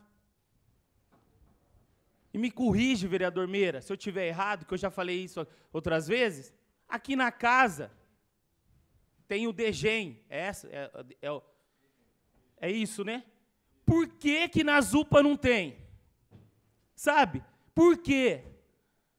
Então é umas coisas, está esperando, ó, no Natal, no Natal, o médico foi agredido. No ano novo, vereador Segala, o vigilante tomou uma tijolada na cabeça. Essa madrugada invadiram a UPA dando é, pedrada. E aí?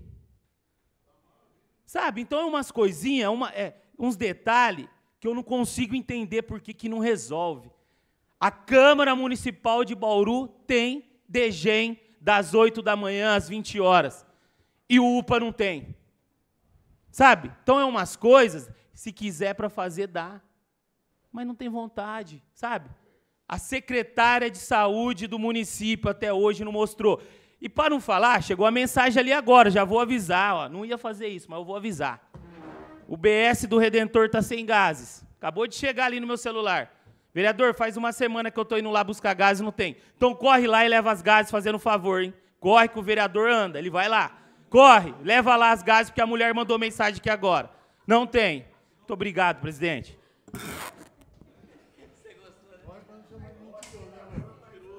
Próximo vereador, Edson Miguel de Jesus. Abre mão da palavra. Próximo a fazer uso da palavra, companheira Estela. Pede a palavra, vereadora? Claro. Ela vai falar.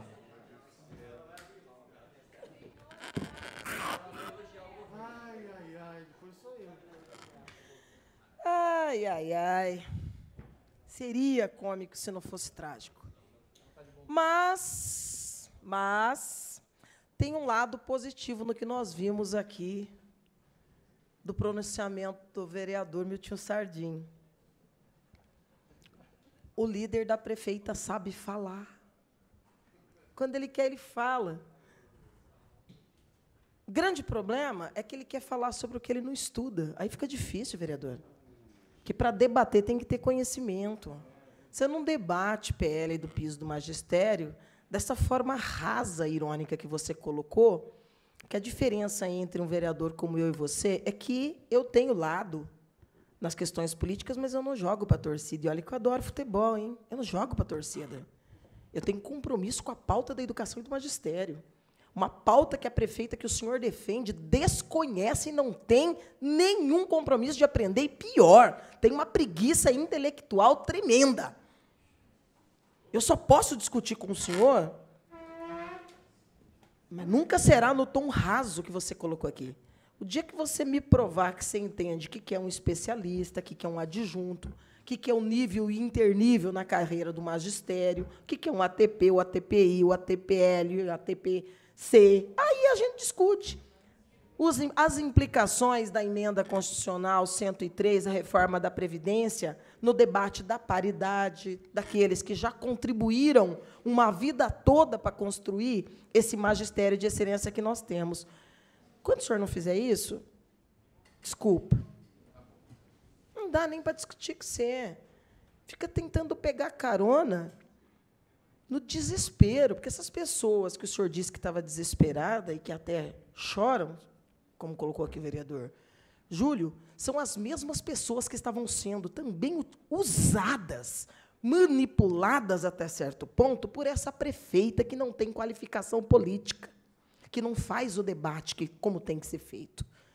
Porque o primeiro PL que essa prefeita que não sabe nada de educação e não tem compromisso com a educação mandou para essa casa há dois anos e meio atrás, dava uma merreca de 300 reais para os adjuntos. Ó, vai diminuir o rombo aí. Vira o seu consignado. Pega essa esmola. E nós não permitimos. E nós barramos. Porque o debate não era de satisfazer a necessidade econômica imediata de professores, esses ou aqueles, era de resolver o problema do piso do magistério. Porque a lei federal veio no escopo de uma luta de décadas desses profissionais do Brasil inteiro para discutir carga, para discutir piso, para discutir direitos, para discutir o ATP, para fazer o debate político da carreira do magistério. Esse subterfúgio barato para dividir aqueles que estão iniciando com salário de fome e aqueles que já contribuíram durante décadas para construir a história do magistério da nossa cidade, é isso que a prefeita Suelen Rosen fez. E aqueles que quisessem, que quiserem, que queiram embarcar nesta jornada com ela, que o façam, mas que tragam para essa tribuna conteúdo e não joguem para a galera. Não joguem para a torcida. Debater o futuro da educação numa cidade que sempre foi referência em educação e sempre teve profissionais valorosos que estudam, que lutam para crescer a carreira, que defendem o magistério em Bauru. Não é essa jogadinha chula, rasa com a torcida, sem aprofundar um assunto que esses profissionais estão debruçando há meses. São dois anos e meio de um debate do qual a prefeita fugiu. E quando manda, manda essa coisa, porque é uma coisa, não é um projeto de lei. E investe na divisão de uma categoria que é essencial. Que cidade que se faz sem educação, sem valorização do magistério? Esse debate, esse projeto não foi votado porque ele não pode nem ser considerado um projeto.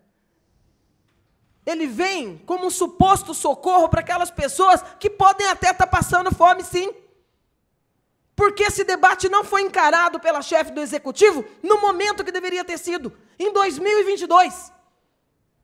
A prática da prefeita Suelen Rosinha é do engodo, é do engano, é da manipulação. E o que essa casa fez hoje, com a prerrogativa que me cabia, como relatora nomeada, era de dizer: prefeita, tira a bunda da cadeira, vai estudar. E não manda mais esses desenhos em papel de pão. E não ouse chamar isso de PL. E não ache que essa casa aqui está cheia de vassalos e lacaios teus, que vão carimbar estas porcarias, que fere direitos e que arrasa uma política tão importante e estratégica como a educação. O resto é firula e jogar para a torcida. Próximo vereador a fazer uso da palavra, o vereador Guilherme Berriel, pede a palavra, terá cinco minutos.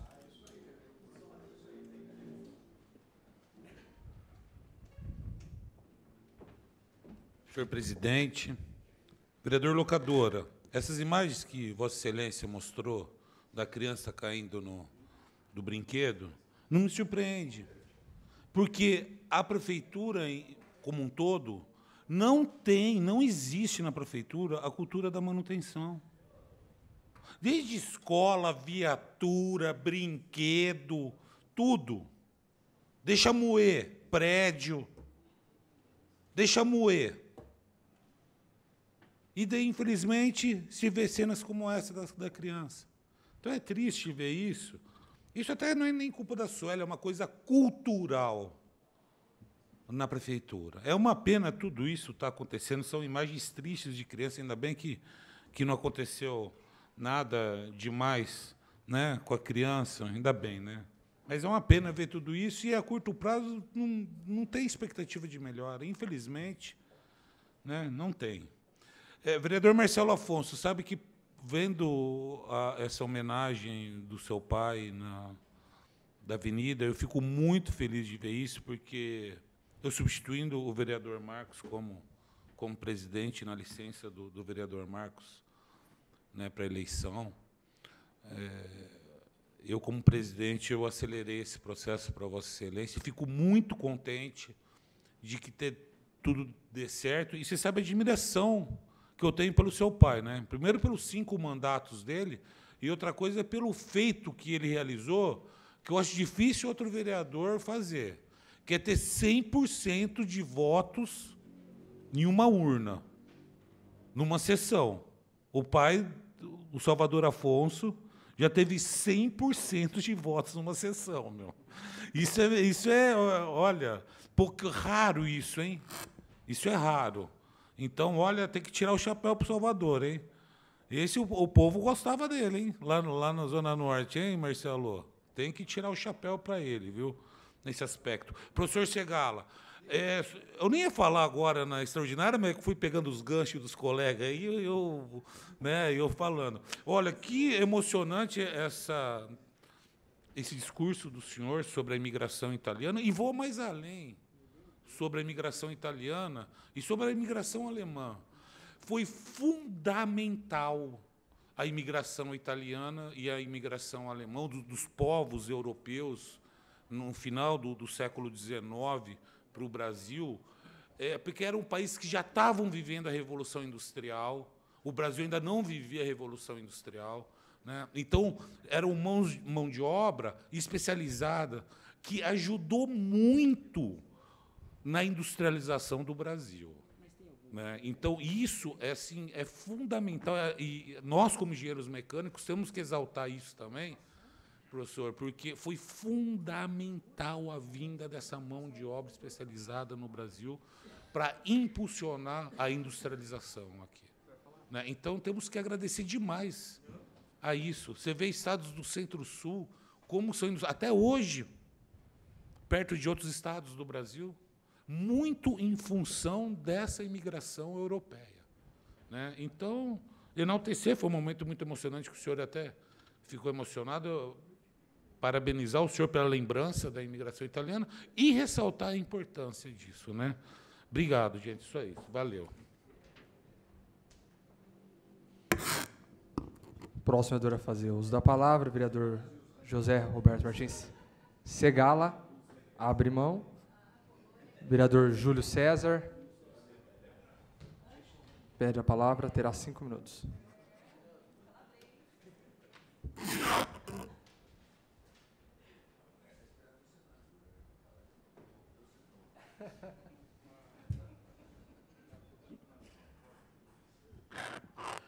Obrigado, senhor presidente. Bom, eu eu votei né, no regime de urgência, como foi citado aqui. E eu e meus assessores estamos a cada dia mais né, buscando se aprofundar nesse projeto da concessão. Aqui, como já foi dito pelo, pelo vereador Segala, não tem nenhum especialista nessa área. Tá? Então, a gente vai buscando informações para debater um pouco desse assunto né, com o que a gente vai conseguindo de informações.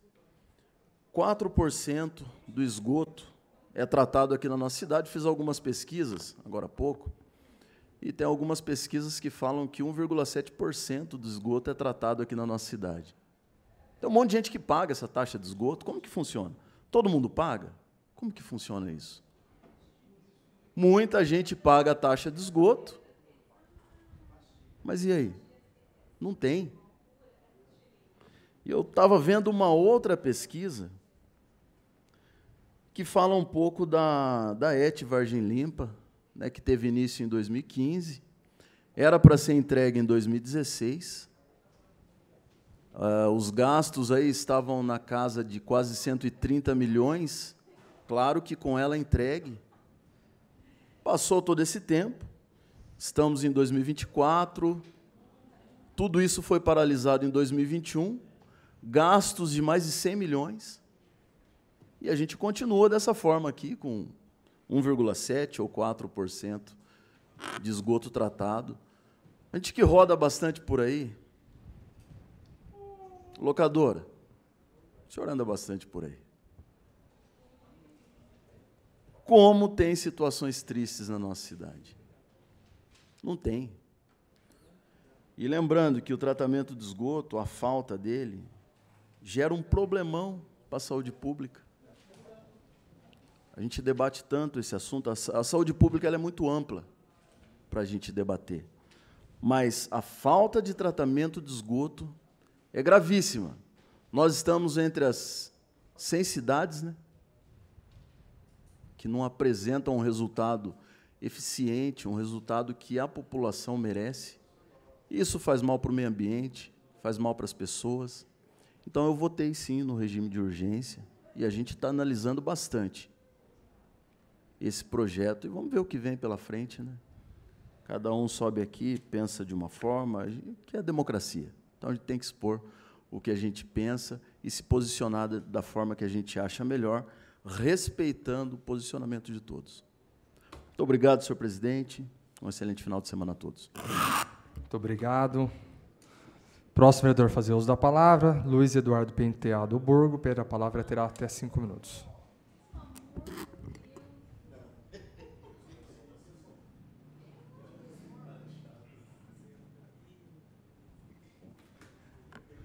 Presidente, vereadores, vereadoras,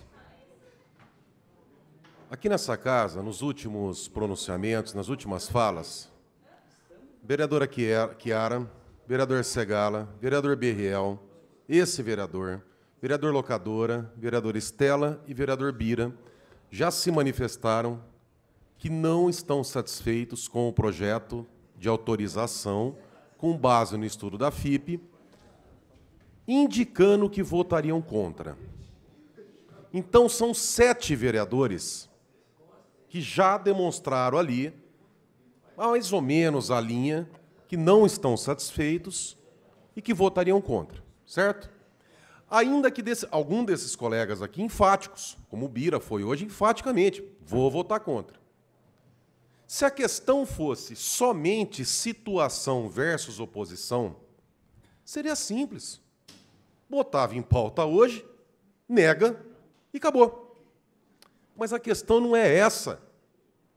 Não é simplesmente, ah, a prefeita está pedindo um cheque em branco, tal, então vamos votar contra, acabou. Não é isso, a questão não é essa. Se fosse isso, a gente votava hoje. Porque a prefeita precisaria de 12 votos para aprovar. Se tiver seis contra, ela já não consegue. Tem sete, ao que tudo indica. Mas a questão não é essa. A questão é o seguinte: existem alguns questionamentos. O vereador Manelo Osila, por exemplo, com todo direito e respeito, na relatoria da Comissão de Justiça, demorou 60 dias para dar o seu parecer. Para chegar à convicção, para estudar, para ler. Ah, mas o projeto chegou em junho. Chegou sem a modelagem. A FIP só foi indicar aqui um esboço de modelagem no final do ano. E a prefeita ainda fica é, é, é fazendo pressão para a gente votar. Tem alguns questionamentos, por exemplo, é, sem levar em consideração a troca de hidrômetros e a diminuição de energia, caso seja contratada energia com o Mercado Livre, quanto teria que aumentar em percentual a fatura de água para compensar a perda de arrecadação com a tarifa de esgoto, fundo de tratamento e seus rendimentos? Que nem eles vieram aqui e falaram assim: não, vai ter troca de hidrômetro, a gente vai contratar com o Mercado Livre de Energia. A gente sabe que é papagaiada. Até agora não fizeram. Mas vão fazer depois que for feita a concessão.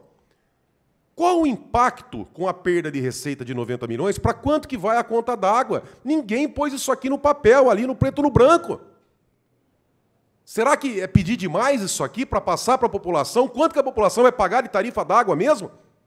Eu peço aqui também um estudo de impacto financeiro nesse sentido para o DAI. Alguém sabe me informar?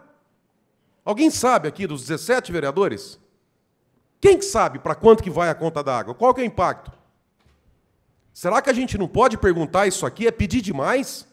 Será que eu não posso ter o direito, como vereador, de questionar isso aqui? Outras questões. Caso seja realizada a troca de 20% dos hidrômetros, que nem a FIP falou, peraí, levando em consideração que a prefeita já deixou claro que não necessariamente é, ela vai seguir o estudo da FIP. Então já está claro que o que nós estamos votando aqui é se dar uma carta em branco ou não. Ponto. Mas vamos lá, em cima dessa historinha, dessa narrativa que está sendo criada, eu pergunto também: caso seja realizada a troca de 20% dos hidrômetros do município, qual o valor previsto de arrecadação pelo DAI nos próximos anos. Por quê? Porque o, o presidente do DAI veio aqui e falou assim: olha, vai ser 20% dos hidrômetros a cada cinco anos para trocar tudo. Perfeito. Vai perder 90 milhões de receita com o FTE e com a arrecadação de tarifa de esgoto. Aí eles falam assim: não, mas vai compensar com a troca dos hidrômetros. Tudo bem, eu quero saber o seguinte: com base, por exemplo, nos últimos cinco anos com troca de hidrômetro, quanto vai representar de arrecadação, de aumento de arrecadação na tarifa de água, para a gente ver quanto que vai precisar de acordo com a perda de receita. Será que é muito perguntar isso? Será que a gente tem o direito de votar um projeto de 60 anos, só nos primeiros 30 anos, 3 bilhões e meio, sem saber uma questão dessa? Isso aqui é politicagem? Pergunto qual o valor do prejuízo com os vazamentos e com a perda de água na ETA, especificar as causas dos prejuízos. Se a previsão de aumento de tarifa de água é de somente 15%, eles colocam no, no projeto que vai aumentar só 15%. Tá, então se a previsão é de só 15%, como é que vai conseguir compensar 90 milhões, que corresponde a quase 50% da arrecadação? É pedir muito? Alguém sabe responder? Eu escutei aqui de colegas, poxa, mas eu já estou convicto do meu voto.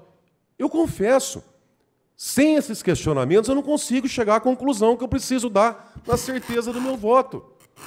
Então, para encerrar, presidente, quero deixar claro: não é questão de politicagem. Se fosse, ah, vamos fazer politicagem, vamos, bota, botasse hoje, a gente reprovava isso. Mas todos nós aqui, eu converso com um monte de vereador aqui, tem um monte de dúvidas ainda. Agora, a prefeita ela quer urgência, responda essas questões aqui, bota o povo para trabalhar lá esse final de semana, que eu, quando era secretário da Seara, eu trabalhava todo sábado e domingo.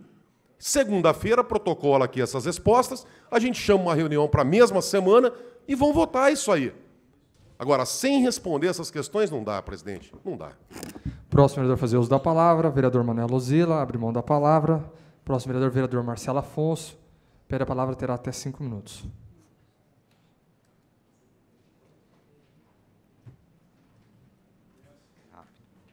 Tem cinco minutos. Completando o que o Berreal, o vereador Berreal falou, eu vou contar uma história aqui. Na verdade, em 1982, a primeira eleição do meu pai foi seis anos nessa casa aqui. E aquela época já era 21. Depois voltou para 17. E realmente, não só uma urna lá no Jardim Godoy, né? Foi várias urnas, 100% dos votos. E a história ela é bonita porque na época foi o Edson Basto Gasparini que ganhou para prefeito, depois veio a falecer. O pai, né? Para não ficar aí essa pergunta. E o Tuga Gerame que assumiu, né? Fez o mandato de prefeito. E sabe quem era o secretário de obras? Era o pai do Berriel. Então, para você ver que o Cardoso Neto então, para você ver que a história foi contada, nós estamos aqui, o vereador está aí, meu pai também já esteve nessa casa. Então, para você ver que realmente. meu pai também foi candidato a prefeito, na época do Tidei. Aí toda essa lambança que o Tidei fez, hoje nós estamos pagando a conta de Nicola Valone, né, que pode acontecer também numa concessão. Então, eu estou lembrando das coisas que aconteceu.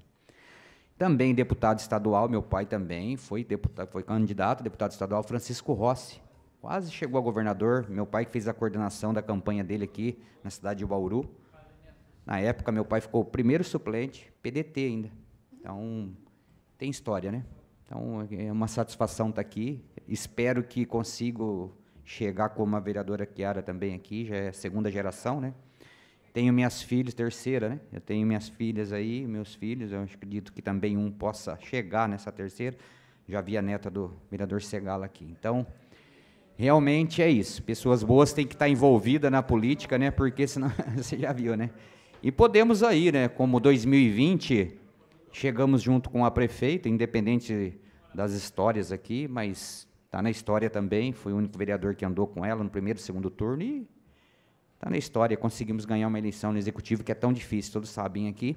E quem sabe agora, né, tem a terceira via ou não, podemos aí ou não chegar junto aí, sei lá. Então a história está sendo contada e estamos na prática.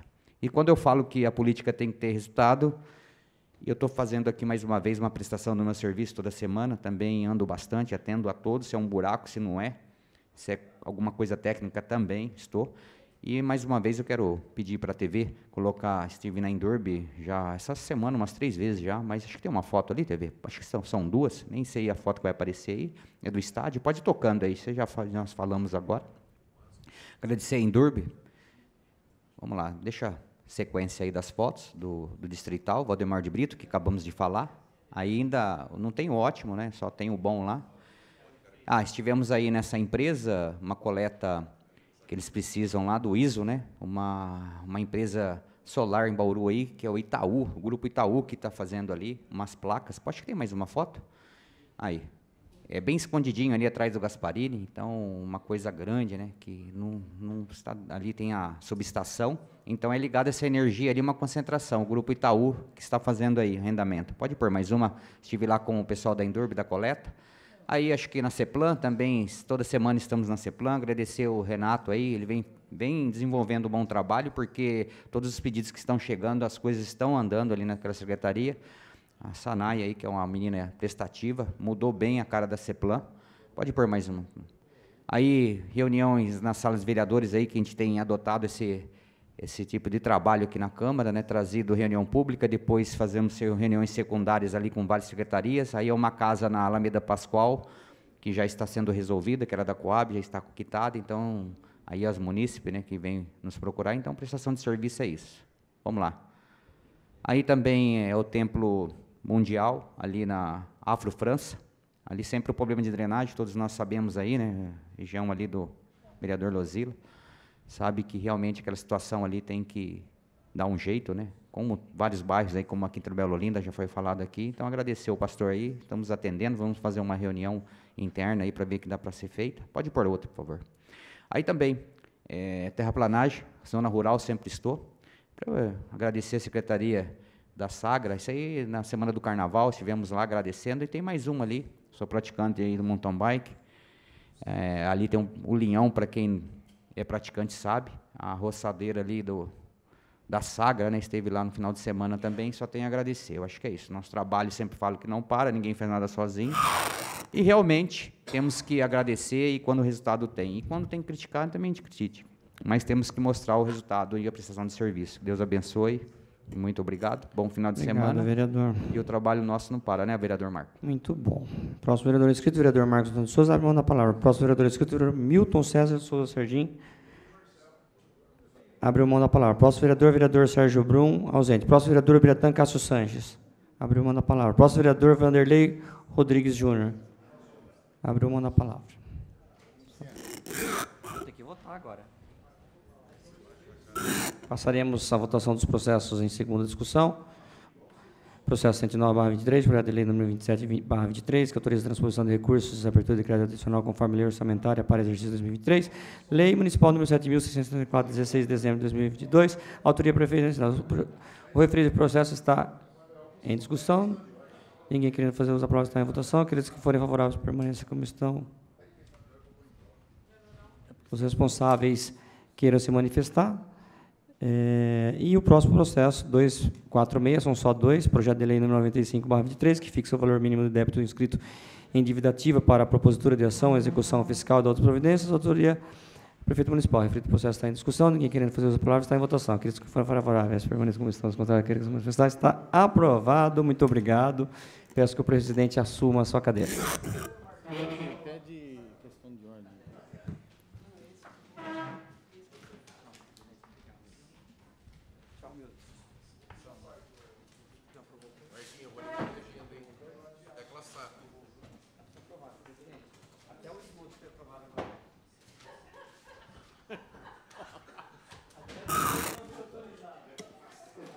Nada mais havendo a tratar, essa presidência agradece a presença de todos e dá por encerrado a primeira sessão extraordinária do dia 16 de fevereiro de 2024, às 16 horas e 46 minutos. Um ótimo final de semana a todos, que Deus nos abençoe.